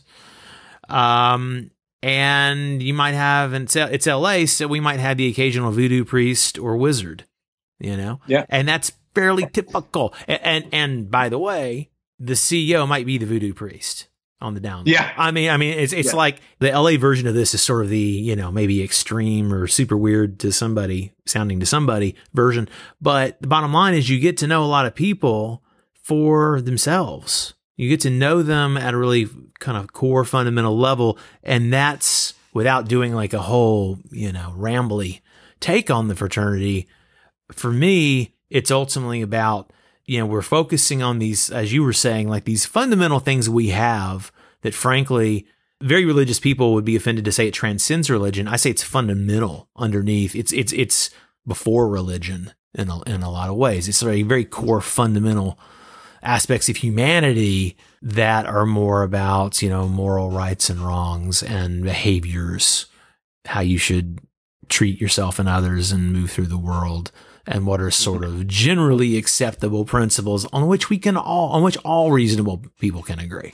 And Yeah. for me, that's that's that's sort of my bad summary of it. But but you specifically, again, we're in the Scottish Rite together, um, which is for people who like more dusty books and more Yeah. more spec more history or more you know rel- you know historical fiction or more mythology and and to relate those one to the other to the other to the other and find the common threads between all of those right? So it just increases your empathy and your Mhm. understanding. Is this so for me that's something because you are one of the most empathic people i i know what does it give you? What does what does masonry you know and your and your and your related pursuits maybe it's a lot of different things so specifically masonry though what do these sorts of things give you in your life Um, well, a you know, masonry is an initiatory process, and every initiation should have a profound impact upon you. And I can always look back to an experience that I had in the first degree that really changed my attitude uh, in a lot of ways. You know, hmm. that- where it was like a click for me, and it kind of went, "Oh, okay." Like, like ritual is designed to put you into a space that's not your normal situation, so that you can absorb experience and information and wisdom in, in a different process. You know, just like seeing a play, you have a vicarious experience, and you can you can kind of like you said, empathize, sympathize vicariously through that. Well, in the ritual, you're experiencing yourself, and and it's meant to transform you. You know, Yeah. some things those things may instantly happen. Some things are a process. I can always look back on though as as a as something that, that where I can remember. Yes, that that lesson right there. You mm-hmm. know, yeah and the, the rituals are packed full of stuff like that. right And when you expand into this, the Scottish Rite, you know, we have 29 degrees. You know, it's that span history and mythology, and within the Scottish Rite, we've often talked about how like they didn't have a a you couldn't get a degree in comparative religion right in 1902, right? Right. But you could be, be in the Scottish Rite and basically get what amounted Yeah. to that. Right. And you know, have, I I'm I'm an old school kind of theater kid. You know, there are theatrical elements to masonry, right particularly the Scottish Rite. exactly We dress up in in costumes in, in and costumes sets and and we portray pieces and yeah from both from both history and mythology. yeah. And we, we tell stories and there's sword fights, all kinds of shit. yeah. So yeah there's a little stage it's- combat it's sometimes. Yeah, when you see the Shriners who are Masons driving around their little uh, yeah cars and dressing up like clowns and all this kind of stuff, I think a lot of us that are Masons enjoy it as a community and and venue to do things like that, to Yeah. enjoy those theatrical Yeah. aspects. And the guys who are normally, like you said, like a barber or someone that doesn't have a a, a degree in theater or who doesn't work in entertainment or doesn't Yeah. like it's it's on one hand it's it's it's kind of uh, it's like a new thing. It's like a whole wow. I've never done anything. that I've never worn a costume before. Oh Mhm, shucks, so fun, you know. yeah. And that's good. Yeah It's it, and it's frustrating for someone though like me that is a theater kid when it's you're trying to like describe what blocking is to people. It's like no, like Yeah. don't turn your back on the audience when you're speaking, like these sort of things. exactly. But nonetheless, it's a lot of it's a lot of fun in Yeah. that regard yeah. and it's and it's and honestly it's kind of it's kind of dorky in a lot of ways like us dressing up in goofy costumes and stuff like Sure. that. But in other ways, it's it's kind of on point, and there's a history behind it, Right. and there's a seriousness to it, and we're telling deep stories. And so, as someone who, if anything, is like, what do you do? Why are you involved in entertainment? Well, I like stories and I like storytelling, and there's power in storytelling. And I want to tell powerful stories. I want to tell stories that have an impact. And by belonging to something like Masonry, to the Scottish Rite, we're telling stories and we're giving uh, new members experiences as part of those narratives that that hopefully will be transformative.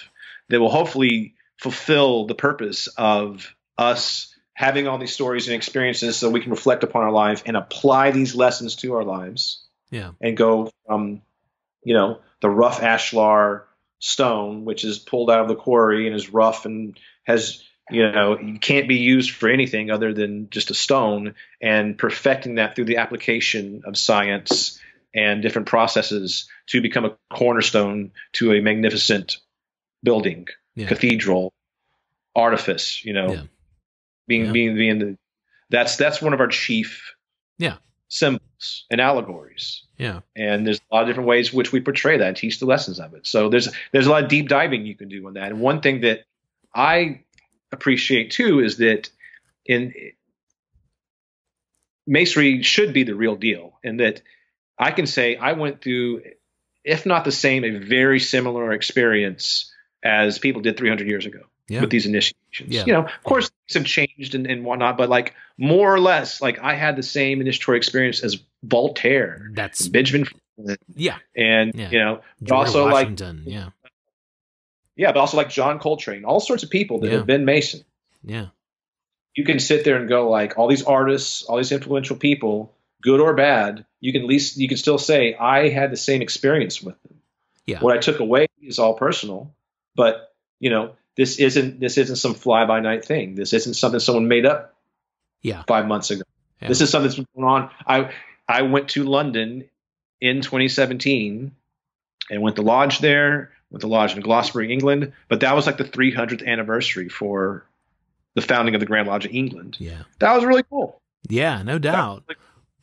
Well, and especially in a Um, world where everything is, you know, I mean, we have disposable culture, and we were, you were, you were, you were, you were on about this earlier about, you know, the the, the kids with their text messages, basically, and it's like, in, in a world where you know it's what are we up to 256 characters on Twitter, to be able to be part of something that has actual history and and and relevance in the formation of the modern world and acted uh, uh, you know people who shared within that were actively involved in in in shaping the modern world for better and worse. But that it continues you know there's a continuity. It, it's it's uh it's amazing to be able to be part of something like that. And uh, and we've you know again there will be people who will wish we would keep talking about this, and people who are ready for us to move on. As we often have, I could easily talk about philosophical type things uh, with you for hours. But in the interest of making this a show for everybody, let's talk about your career a bit because I've had a lot of entertainment folk on this show, and from every sort of walk of life, every angle on this writers, directors, actors, producers, and some craftspeople. I've had all kinds of people. It, this show has a has had a bit of an entertainment focus. It's not exclusive to that, but that's been sort of the focus. When you moved out here, and again, you came for a girl, found a a profession in masonry and avocation. And then in terms of your career, you know, again, you mentioned theater, theater degree, directing theater from, from Texas. So was the plan, what was the plan creatively? I mean, was it all about the girl at the time or was it, was there a bigger drawing, something bigger drawing you out here? You know, I would say that it, it's funny because like some of my friends back home in Austin basically always said like, yeah, you you were obviously the guy that was going to move to Hollywood, right? I literally grew up on a street called Hollywood Avenue. So Okay. you know, if, if you get my pet or my uh, you know, if, if- you know, they say like, what's your uh, your soap opera name? It's, it's Oh. your dog, your first pet, and the street you grew up on. Well, my my soap opera name is is Scotty Hollywood. Nice. You know, that's the street I grew up on in East Austin. You know, that's awesome. that sort of thing. And in a way, it was destiny. I came, I, I came here knowing that you know I have a degree in directing, right? Mm-hmm. In, in, high school, this is one of the this is going back to Austin. This is one of the fortunate things you can do in Austin. You can go to like a liberal arts school where you get a great educa- public education of, you know, all history and English and everything in between. But I was in, you know, every year in the spring, that was my elective jazz band. That was the end of the day. It was jazz band. Okay. I learned how to like, and we we traveled around and like we, you know, I was in the jazz band, I was in the art programs. Mm-hmm. I, I, I remember out of like pragmatism, I remember we had to read the Crucible when, and I was a, a junior, and I saw that. I don't think they lined it up this way, but they were having auditions for the Crucible. And I was like, I'm just going to audition for this play instead of reading this book or whatever. And uh, I got into the play, and I got to play this uh, uh, kind of you know evangelical were they Puritans, you know, uh, mm. minister, okay. you know, scared of the devil. Yeah, and like, yeah. I got the bug. I was like, this is awesome. Like, I like acting. This is a lot of fun, you know, mm-hmm. like, uh, and, and ever since, the, yeah, I basically became a theater kid then. And then when going to college, it was like, do I want to get an art degree, music degree, theater degree? And I felt that like, you know, I was very much kind of cinephile then too, you know, watching, uh, Hong Kong films and, mm-hmm. and that sort of stuff, like all the PBS stuff and and just loving movies and narratives. So I was like, I'm gonna I'm gonna I'm gonna go to get my degree in theater and I'm gonna go the directing route. Mm-hmm. Yeah. And I, I, still I still like acting. I still do to this day. I was involved in a bunch of plays, but I got my degree in directing because ultimately that I felt set me up as a producer. You know, yeah. having a, a, a knowing what the big picture is, knowing what all the different moving parts of a production are, yeah. knowing what costume design is, the, the music score, the behind the scenes stuff, lighting, all those things uh, I thought was great for me to uh, ultimately become a producer because directors have to be very hyper focused. I realized too, though. Yeah. You know. Yeah. And I'm more about like what are all the moving parts here and how do we keep all this moving in a lot of ways. So I'd moved from Austin. I'd moved to London. I actually tried to like audition for things in London and, and failed miserably. you know, uh, you know, lots nights wandering around Soho, depressed. Yeah, yeah. but coming here, coming here, here, I mean, I was telling myself it was for the girl, but I also knew deep down, like, this is the kind of city that I want to go to, and this is the kind of city that I can thrive in. Um, this is going to be cool, you know, Hollywood, the the film industry, all these sort of things. But I came here and was actually had a reaction that I think a lot of people have that come from a smaller place. Uh, oh, it's the big city. People here are rude. No one's friendly. I can't mm. walk. In Austin, mm. you can walk down the street, or at least you used to be able to yeah. walk down Guadalupe Street and and and you know the girl walking up to you smiles at you and you yeah. smile back. You say hey, and you keep walking. Sure. Like you sure. don't. You're not afraid of them. But that's one thing my my high school theater teacher told us. He had just come fresh from like Broadway in New York, and he's like, when you live in the big city, you have your city face, and you walk down the mm-hmm. street. Yeah you you don't have any expression and you don't look people in the eye and people walk up to you and you just keep walking. You just step out of the way and you don't acknowledge them. and that's what i mean by london prepped me for that. Yeah. London prepped me yeah. for life in the big city which i understand now. When you're walking through you know you're walking down wilshire boulevard and there's a million people and people walk you know who knows what's going on. People walking up trying to get your attention or want something from you generally aren't people you want to talk to on the streets. Just usually, all the random. usually yeah yeah. Yeah. So you take on a big city mentality. But I came here coming from Austin in a very different culture and was met by that and had that sort of, you know, I don't like this sort of vibe and like and and going to some auditions or trying to dip my toe into being an actor or whatnot, uh, and and quickly realizing, you know, I'm I'm one of 50 six foot tall blonde dudes in glasses in the room waiting for this audition type of shit. Yeah. I, I, I, steered clear of that for a while actually, and and I got a job in a back care store, and it was down the street from this one university, of which I eventually, at the same time all this happened though, it kind of lined up. I joined the Masons. I got involved in some really kind of cool, unique spiritual groups, and in the overall kind of Southern California community in that way and I kind of told myself, you know what? I'm going to spend four years doing this because I'd, co- I'd now come into some communities mm-hmm. and people that were very much sort of elder statesmen in yeah. a lot of ways. Yeah. I was having all these interesting, like, like very quickening experiences of like buying a book that was cool and learning a lot from it, and then meeting that author yeah. a month later. Yeah, Turn, them, turns know, out like that they're like a good but- friend and colleague of some of your some of your your consulting wizards. Yeah, exactly. And suddenly I'm in Topanga, like in weird tantric camps with these people or something, or like I'm like, you know, I'm in Long Beach, uh, like hanging out. Just, just like it, Yeah. it, it, it very much. I knew deep down, like, here's a good time to kind of step back from being an actor or all this kind of stuff. I got my master's degree in counseling psychology, and but once I did that, I realized that I really like being on set. I Right. really like being creative process, and I also realized that I didn't have the emotional fortitude to basically sit in a chair and have people open up all their darkest things on me all day long either. Yeah. You know? Yeah. Uh, so that was around like 2004, 2005. And that was a whole different time too, then too, because we didn't have such proliferation of social media. You know, No, it was, Things like it was still early days. Yeah, we yeah we yeah we met it we Yeah. met offline. yeah. you know, And but I miss uh, those days. yeah, I really miss those days. yeah, I, I miss the infancy years of social media when it wasn't something you had to do every day, all day long, and people were more creative and there was more. This felt like more of a community, and there felt like more genuine creativity going on. I'd got my, I'd, I'd earned my master's in counseling psychology. Realized I didn't want to go that path. Happy I had a master's, but then decided to get my foot back in the door of the entertainment industry yeah, you know. Yeah. And like many people in LA, that starts at central casting, you know. hmm Like like you're like, well, how do I do this? How do I start getting auditions? And you see that there's ample work, basically doing background work. Yeah. So for, so for for two or three years there, I was like, that was sort of my bread and butter hmm it, it was um, it was interesting because I got to be on sets for major films and oftentimes featured.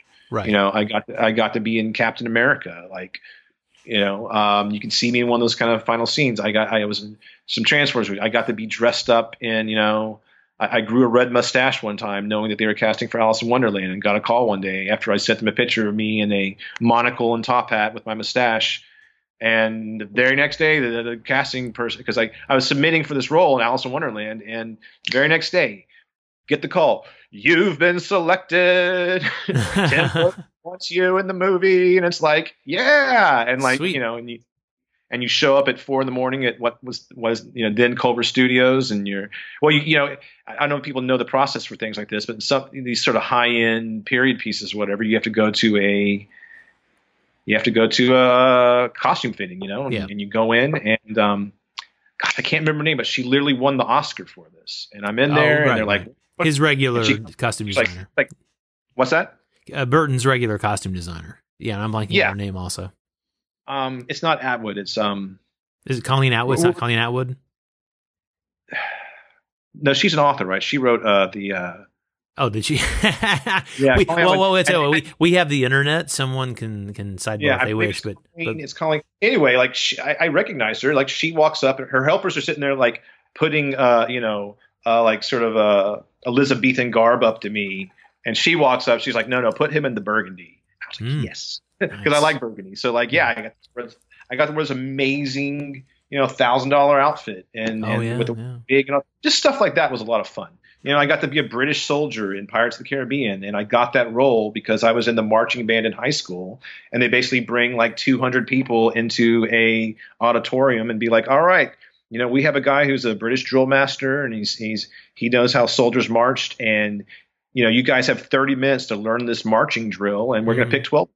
Okay, You know, and you And- could do that. You had that skill set. and I could, and I could go boom. I could I, I- I knew how to do that with a, a big steel drum tap, you know, over my shoulders. So just Right. like with a gun, I knew how to freezy turn, bit, bit, bit, all kind of stuff. hmm And so I got to be uh, at, at the Disneyland Ranch, and I got to be in this, this big castle where they're hanging pirates, and I'm a British soldier, and you know all that kind of stuff. Yeah. Just cool stuff like Yeah. that.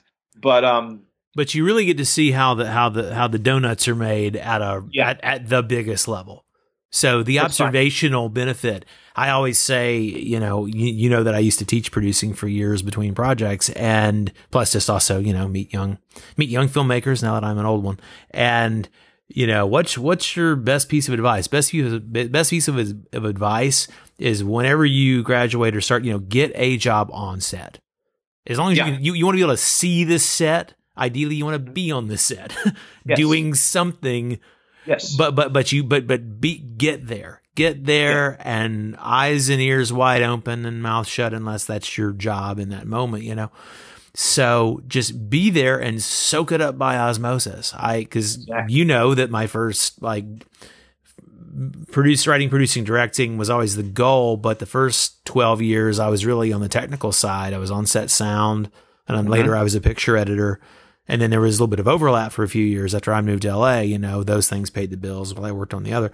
But I mean, I learned so much from the, you know, 70, 80, like indie movies, a few big ones, but, you know, a lot of indie Mhm. movies, movies of the week back in the day, all these things. I just, I was, I worked, I was swinging a boom or I was recording the dialogue.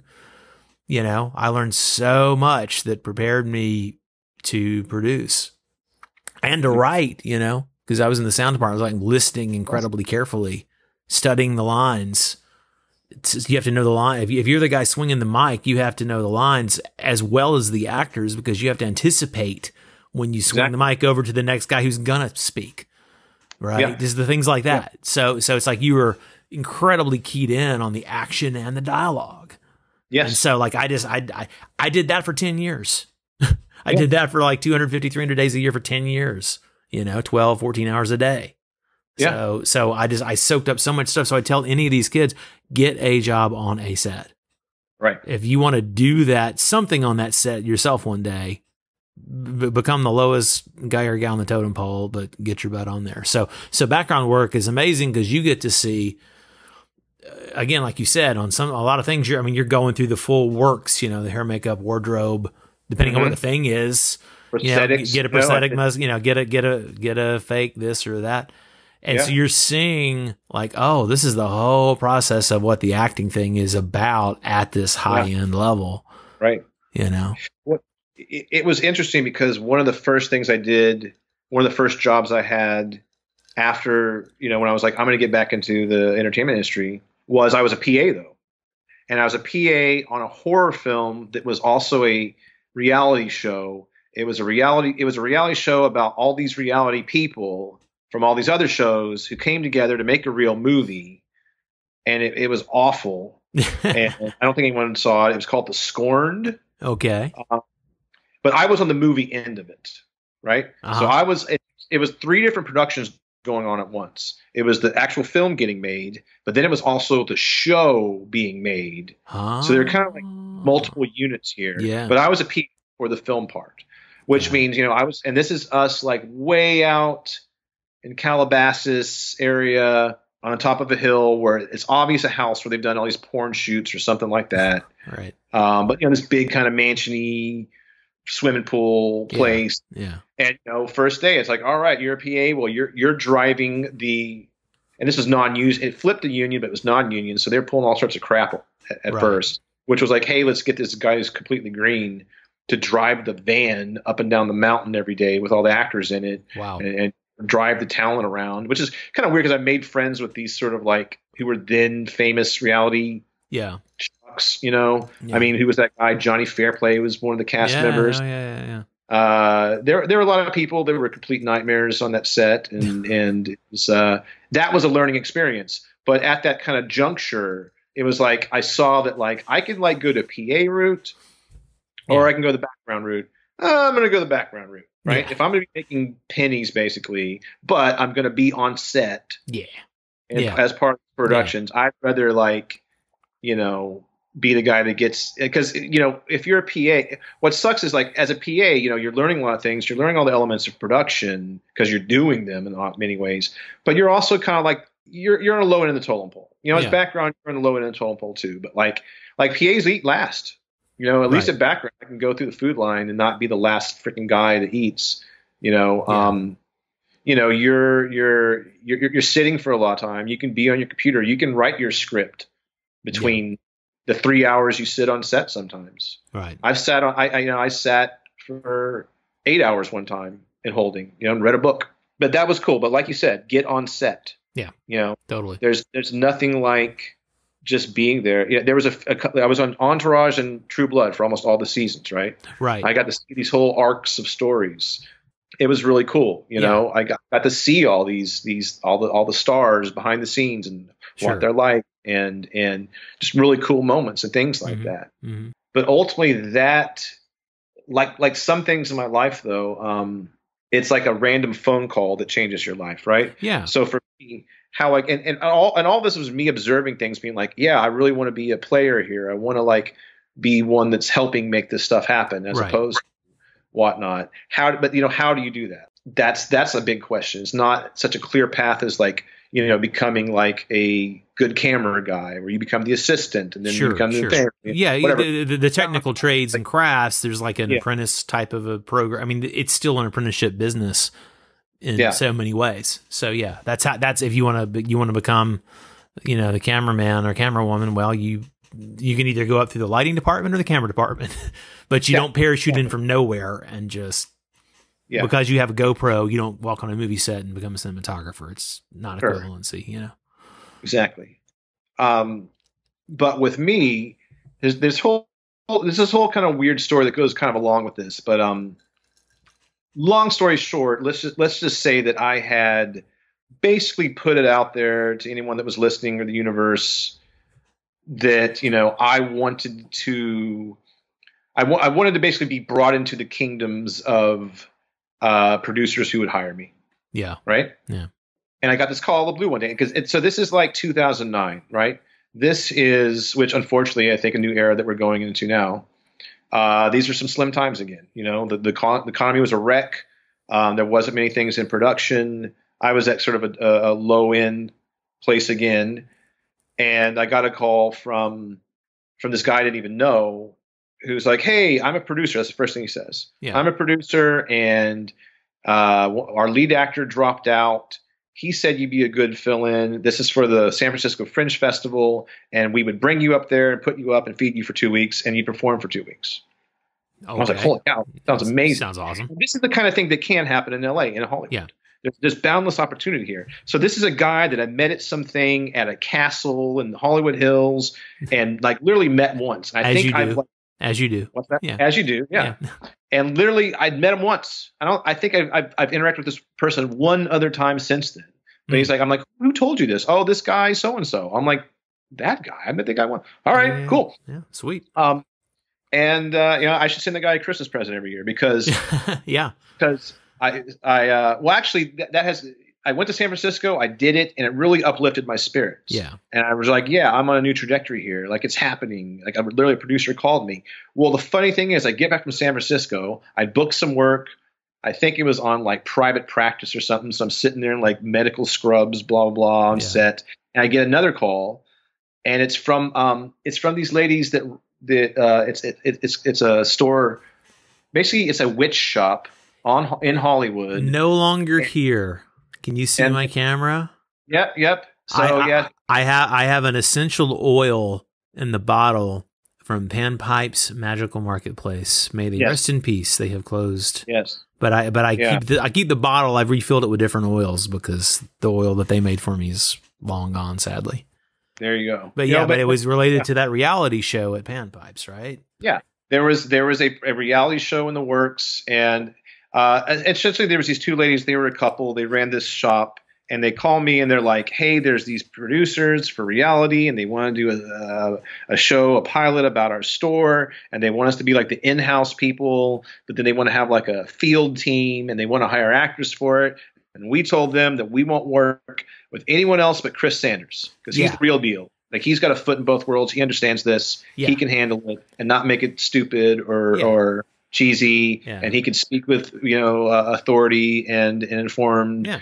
ability Yeah. and i was like great Yeah. and made a pilot and i was like the male lead of it yeah. Yeah. and i recruited i recruited another friend of mine who was like a, a, a you know go-go dancer by night you know, tarot reader by day, you know, looks cool in leather pants to be like my my partner in the field team, and we did this whole and it and it once again it was like you know, reality TV producers trying to make a show about something that doesn't actually exist. You Yeah, know, like yeah, yeah. where's the conflict? Yeah, okay. yeah, yeah, and and like and treating So that, that's bad. That's bad reality TV producer. yeah uh, treating people on very spiritual paths like it's some sort of like contest or or or you know like weird cop show or whatever um but I, you know you know here i am i'm i'm i'm a hungry actor and i'm like i'll do this Yeah, but through it i met the executive producer uh mark phillips of mark phillips uh film and television who he'd done like true tales of the highway patrol and through his conversations and it's funny we were in my masonic lodge that I brought him to to show him like, hey, this is part of my world. And we're sitting in there, and he's like, you know, there is a show I'm trying to get off the ground. yeah, It's called My Ghost Story. It's about people telling true tales of their paranormal experiences. There's always video or audio or visuals, photographs involved. He goes, I think you would be a great producer on this. and you're And sitting go- in that library, which, I mean, like any good ghost story, usually takes place in a like a gorgeous library Yeah. or a study, something like that. That's that's a perfect environment. I can imagine you sitting there talking to to Mark Yeah. uh, in this environment. Yeah. So, sorry, please continue. I just a uh, little little little Well- color for people. Well, he said that, and I said, I, I agree. Yes, I would be. I'd be great. Yeah, And uh, you know, two months later, there I was, and I was, I, you know, I was my first production job, and you know, I had to learn a lot of things, and like, I, and then I, I I learned what it was like to be a, a TV producer, and like Yeah. the many hours you put in, and I learned why people in TV drink by this. like I, never, I never poured myself one. Like I don't like to drink alone, and after three weeks of trying to like, you know, squeeze a camel through the eye of the needle or whatever, uh, it was like, oh yeah, I go home and I pour myself one because you know it was a lot of stress. Like TV, that's why I tell people, TV, you're under the gun. You're under the gun of the network. Yeah. it's like Monday Yeah. starts and then Friday you got to deliver something. Mhm. You know, but uh, long story short, though, uh, I gave them probably half their content for the first season. The first season went on to be their number one show. Uh, to this day, it was a show on Bio called My Ghost Story, and it got rebranded as My Ghost Story Caught on Camera. yeah. And uh, it It kind of kicked off that wave of those shows. I mean, it's sort of the one that was the giant breakout hit. And then we've had a bazillion paranormal Yeah. type shows, investigative type shows since. But uh but that one made that that was that was I mean, some people will realize some people will say like that I don't even have to explain it. I'm just saying there Yeah. might be people who missed it. It was before their time, but it was a, it was a big it was a milestone of of sorts.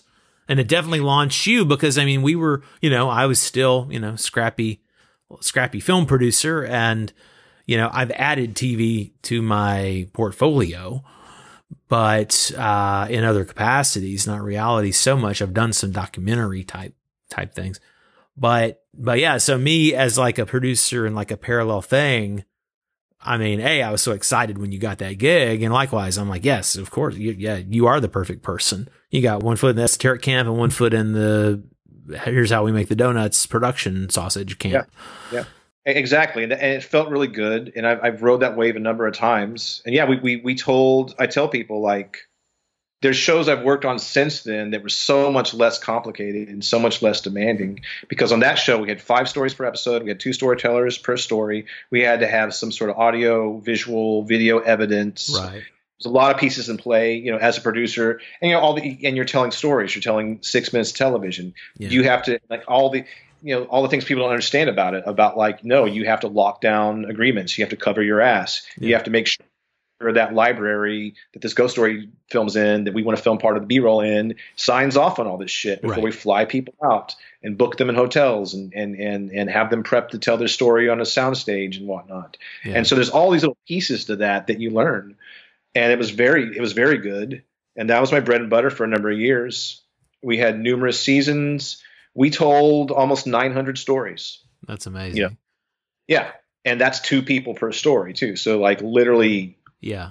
almost 2000 people Yeah. got to speak their voice and tell their stories and it wasn't an investigative show it wasn't ghost hunters Right, it wasn't ghost right. hunters it wasn't trying to prove anything and we didn't have to like make up all this stuff Yeah. you know we didn't have to like craft this like corny Scooby Doo adventure every time. It's like, no, bring these people in, Yeah. have them tell their stories. It's their build- story. you know, Yeah. My ghost story. It's right there in the title. It's Precisely. right yeah. there. So Very high concept. the interesting thing is I'd never could I mean I was I was interested in the paranormal I'd studied the paranormal but the paranormal community uh, uh, in America and across the world is a lot of them are very much that's their thing they're Yeah. into ghosts Yeah.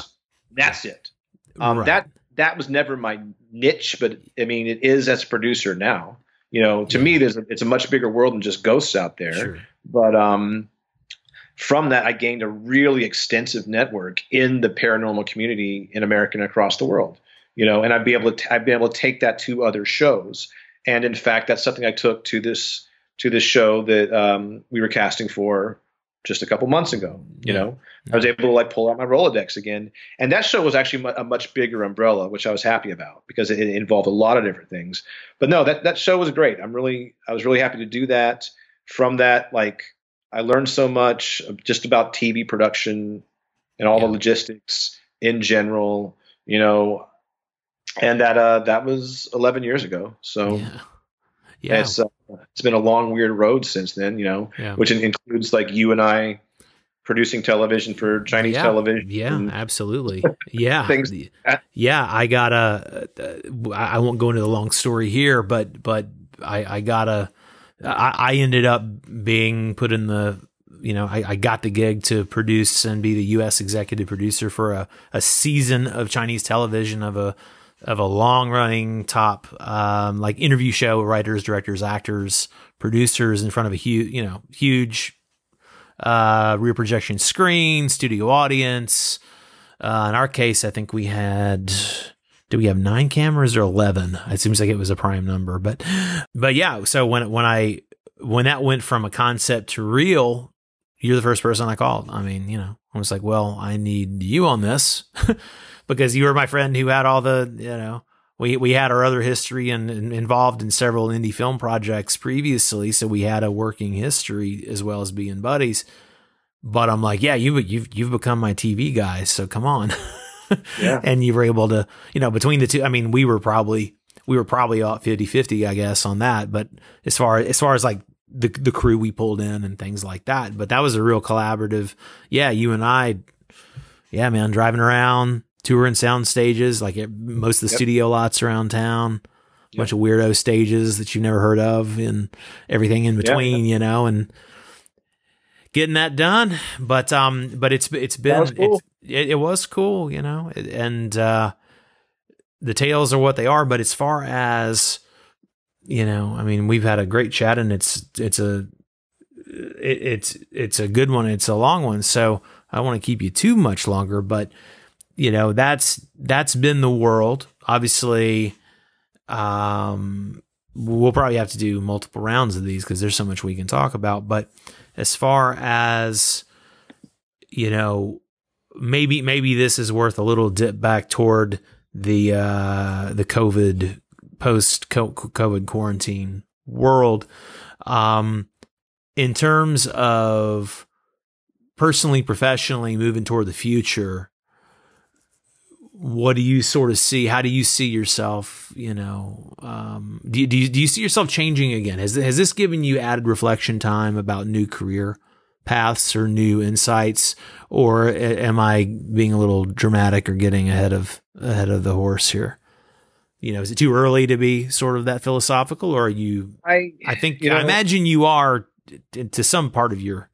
I imagine some part of you is having these thoughts because you can't help yourself. So I'm curious what that part of you is saying. Well, regarding the the future of the world and, and my involvement in it, in a you know, what is in a, a you know this pandemic world that we don't know what it's going to be like three months from now, let alone three weeks. In some ways, Yeah. I am just trying to take it kind of one day at a time. I also am trying to you know plan for the future and, and think if like a lot of these conditions set in and become the new norm, what then, right? So I am fortunate to to know a lot of people that have done a lot of streaming stuff. Yeah. And this is this is where I'm kind of it's that double edged sword now of we have all these capacities, we have Zoom, we have Twitch, all these kind of things we can put information online. And one of the pitfalls that I'm trying not to find you know, fall into is just sort of like needless expenditure of time and energy for things that don't amount to much at all, Yeah. like you know arguing online or just like playing video games all day, things Sure. like that. Yeah. Um, so it has kind of opened up uh, my desires, inclinations to do things like this. You know, uh, this is this is I think this is my first major podcast appearance. Oh, You know, very nice. I- Very but I'm enjoying this. You know, these are things Yeah. we can do now when if Yeah. we're sitting up today, and and even if we weren't, you know, I would want to be doing this. But Yeah. uh, more people are going to be listening to content like this now. Yeah. You know, obviously, um, I'm I'm hoping to. You know, I've been I've been. It's funny because uh, you know I have a number of irons in the fire. You know, as do you, as do all of us. You know, who are trying to get various projects off the ground. I'm, I'm hoping four months from now things can be actually boots on the ground production, you know, Mm. with various things. But it's it's also a time to, you know, it, it's funny. Like I've been trying to get a, I want to, I want to, I've been trying forever to have a D and D. You know, I played D and D as a kid, and I've been trying forever to have a D and D game that's via Twitch or Zoom or whatever. That's called Wizards with Wizards, and it's where like uh, authors of these esoteric, you know, books Yeah. and and self-proclaimed wizards and witches and all this kind of stuff come together and play a D&D game where we're playing wizards right exclusively and and like I've been trying to do that with like friends of mine I that say, it's, ba- it's, basically your game. You just wanted to make a show out of it. yeah exactly But it's like- your like- actual crew. Just put a camera on it. yeah It's- it's like people I know that I, I, that I genuinely want to play D&D with but I was like well what if we just do it if it's all the like spellcasting wizard classes and that's kind of our spin on it and that'll be a lot of fun and man I'm, I'm telling you you know, that that's that's harder than than getting a movie off the ground. but with Oh, with the uh, Get- getting a bunch of would be wizards to agree. yeah yeah getting a feel like you know uh, but now that you know a lot of people are home more and like those conversations have started again it's like Yeah. okay guys let's do this but because it's, it's it's like I, I don't want to do it we just do it a couple times I wanted to do it Yeah. where you know this is something people tune in for you know and like and I'm I'm actually being I wouldn't say I'm being hypocritical but honestly like I'm not a person that uh, like I'm saying like I've tried to dial down my online consumption I honestly don't listen to a lot of podcasts or Sure. watch a lot of like things on Twitch or things of that nature but I know now I'm going to be doing more of that more Yeah. and and uh, just because before it's kind of like you know you live in a big city like LA, there's a lot of things going on. Once again, I'm I'm gregarious. I like to get out there and be mixing it up and not sitting in front of a screen all the time. Yeah. You know, so one of those big questions is how do I balance all that now?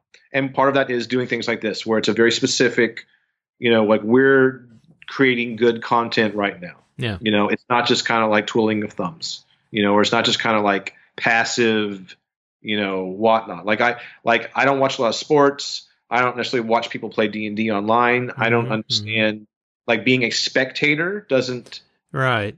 Thrill me too much, you know, yeah. get much out of it, you know, but being a participant, Mhm. I do.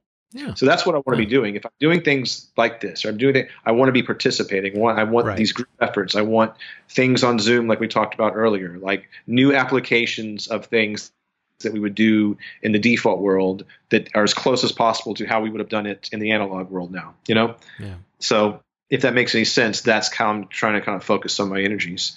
You had one last particular COVID story that you wanted to uh, tell us about your your adventure. Yes. One of the highlights of, of my COVID pandemic traveling to Austin story is that the the final meal I the final meal uh, that I had was with my mom. And when I say the final meal, what I mean is is the last meal that I had in a sit down restaurant prepared by other people um, over a month ago was with my mother Oh, and we got Tex-Mex, and you know we got queso and oh, enchiladas, Oh, tacos at one of these old spots in in the neighborhood I grew up in, and that's that's a wonderful memory, yeah. and Yeah. I'm glad I did that. And I wouldn't, if anything, that whole trip and all of it's kind of like being frustrating and being expensive and being worrisome and being sad and disappointing in a lot of ways. I wouldn't exchange any of that for that experience of knowing that like if the whole world went to shit, like major big Yeah. time what tomorrow and you know we're living in Terminator land tomorrow or RoboCop or whatever. It's uh I had that experience. That was that was like my final like if I never have a, a meal at a restaurant again, having queso and enchiladas with my mom, you know, in the neighborhood I grew up in was worth going to Austin. Yeah. And I don't see that as happening. Sure. But, but in the context now of, you know, sitting at home having, you know, grilled cheese sandwiches and tomato soup for a month and, and, and, Yeah. and being, you know, paranoid about other people preparing food for me, you know, not Yeah. wanting that at all. Uh, I'm glad that I'm glad I did that. I'm glad that I glad I had that experience. And, you know, I timed it perfectly too, because literally that was the last day that Austin had restaurants open. And there's, Oh. you know, when you go to Austin, you want to go eat there. yeah. So if I'd Oh, stayed yeah. there longer, I would have been in Austin where I couldn't get enchiladas. That I'd been in been torture. I couldn't get a chicken fried steak, and that's yeah, that's torture right Yeah. there. No, Yeah. Not, not able to get any barbecue in Austin or something. That would be. Uh, yeah. So I'm glad I did that. You know, some people were giving me shit for like having gone to Austin during these times, and it is what it is. I I, I don't regret it. I'm like that's why I came back early. That's why I bunkered down in a hotel Mm-hmm. on the east side. I'm not going to feel guilty for having that meal with my mom. I feel great about it. Yeah. Well, I'm going to put links in the show notes. People can find you at the places. Chris Sanders, thanks so much, man. Thank you, Brendan.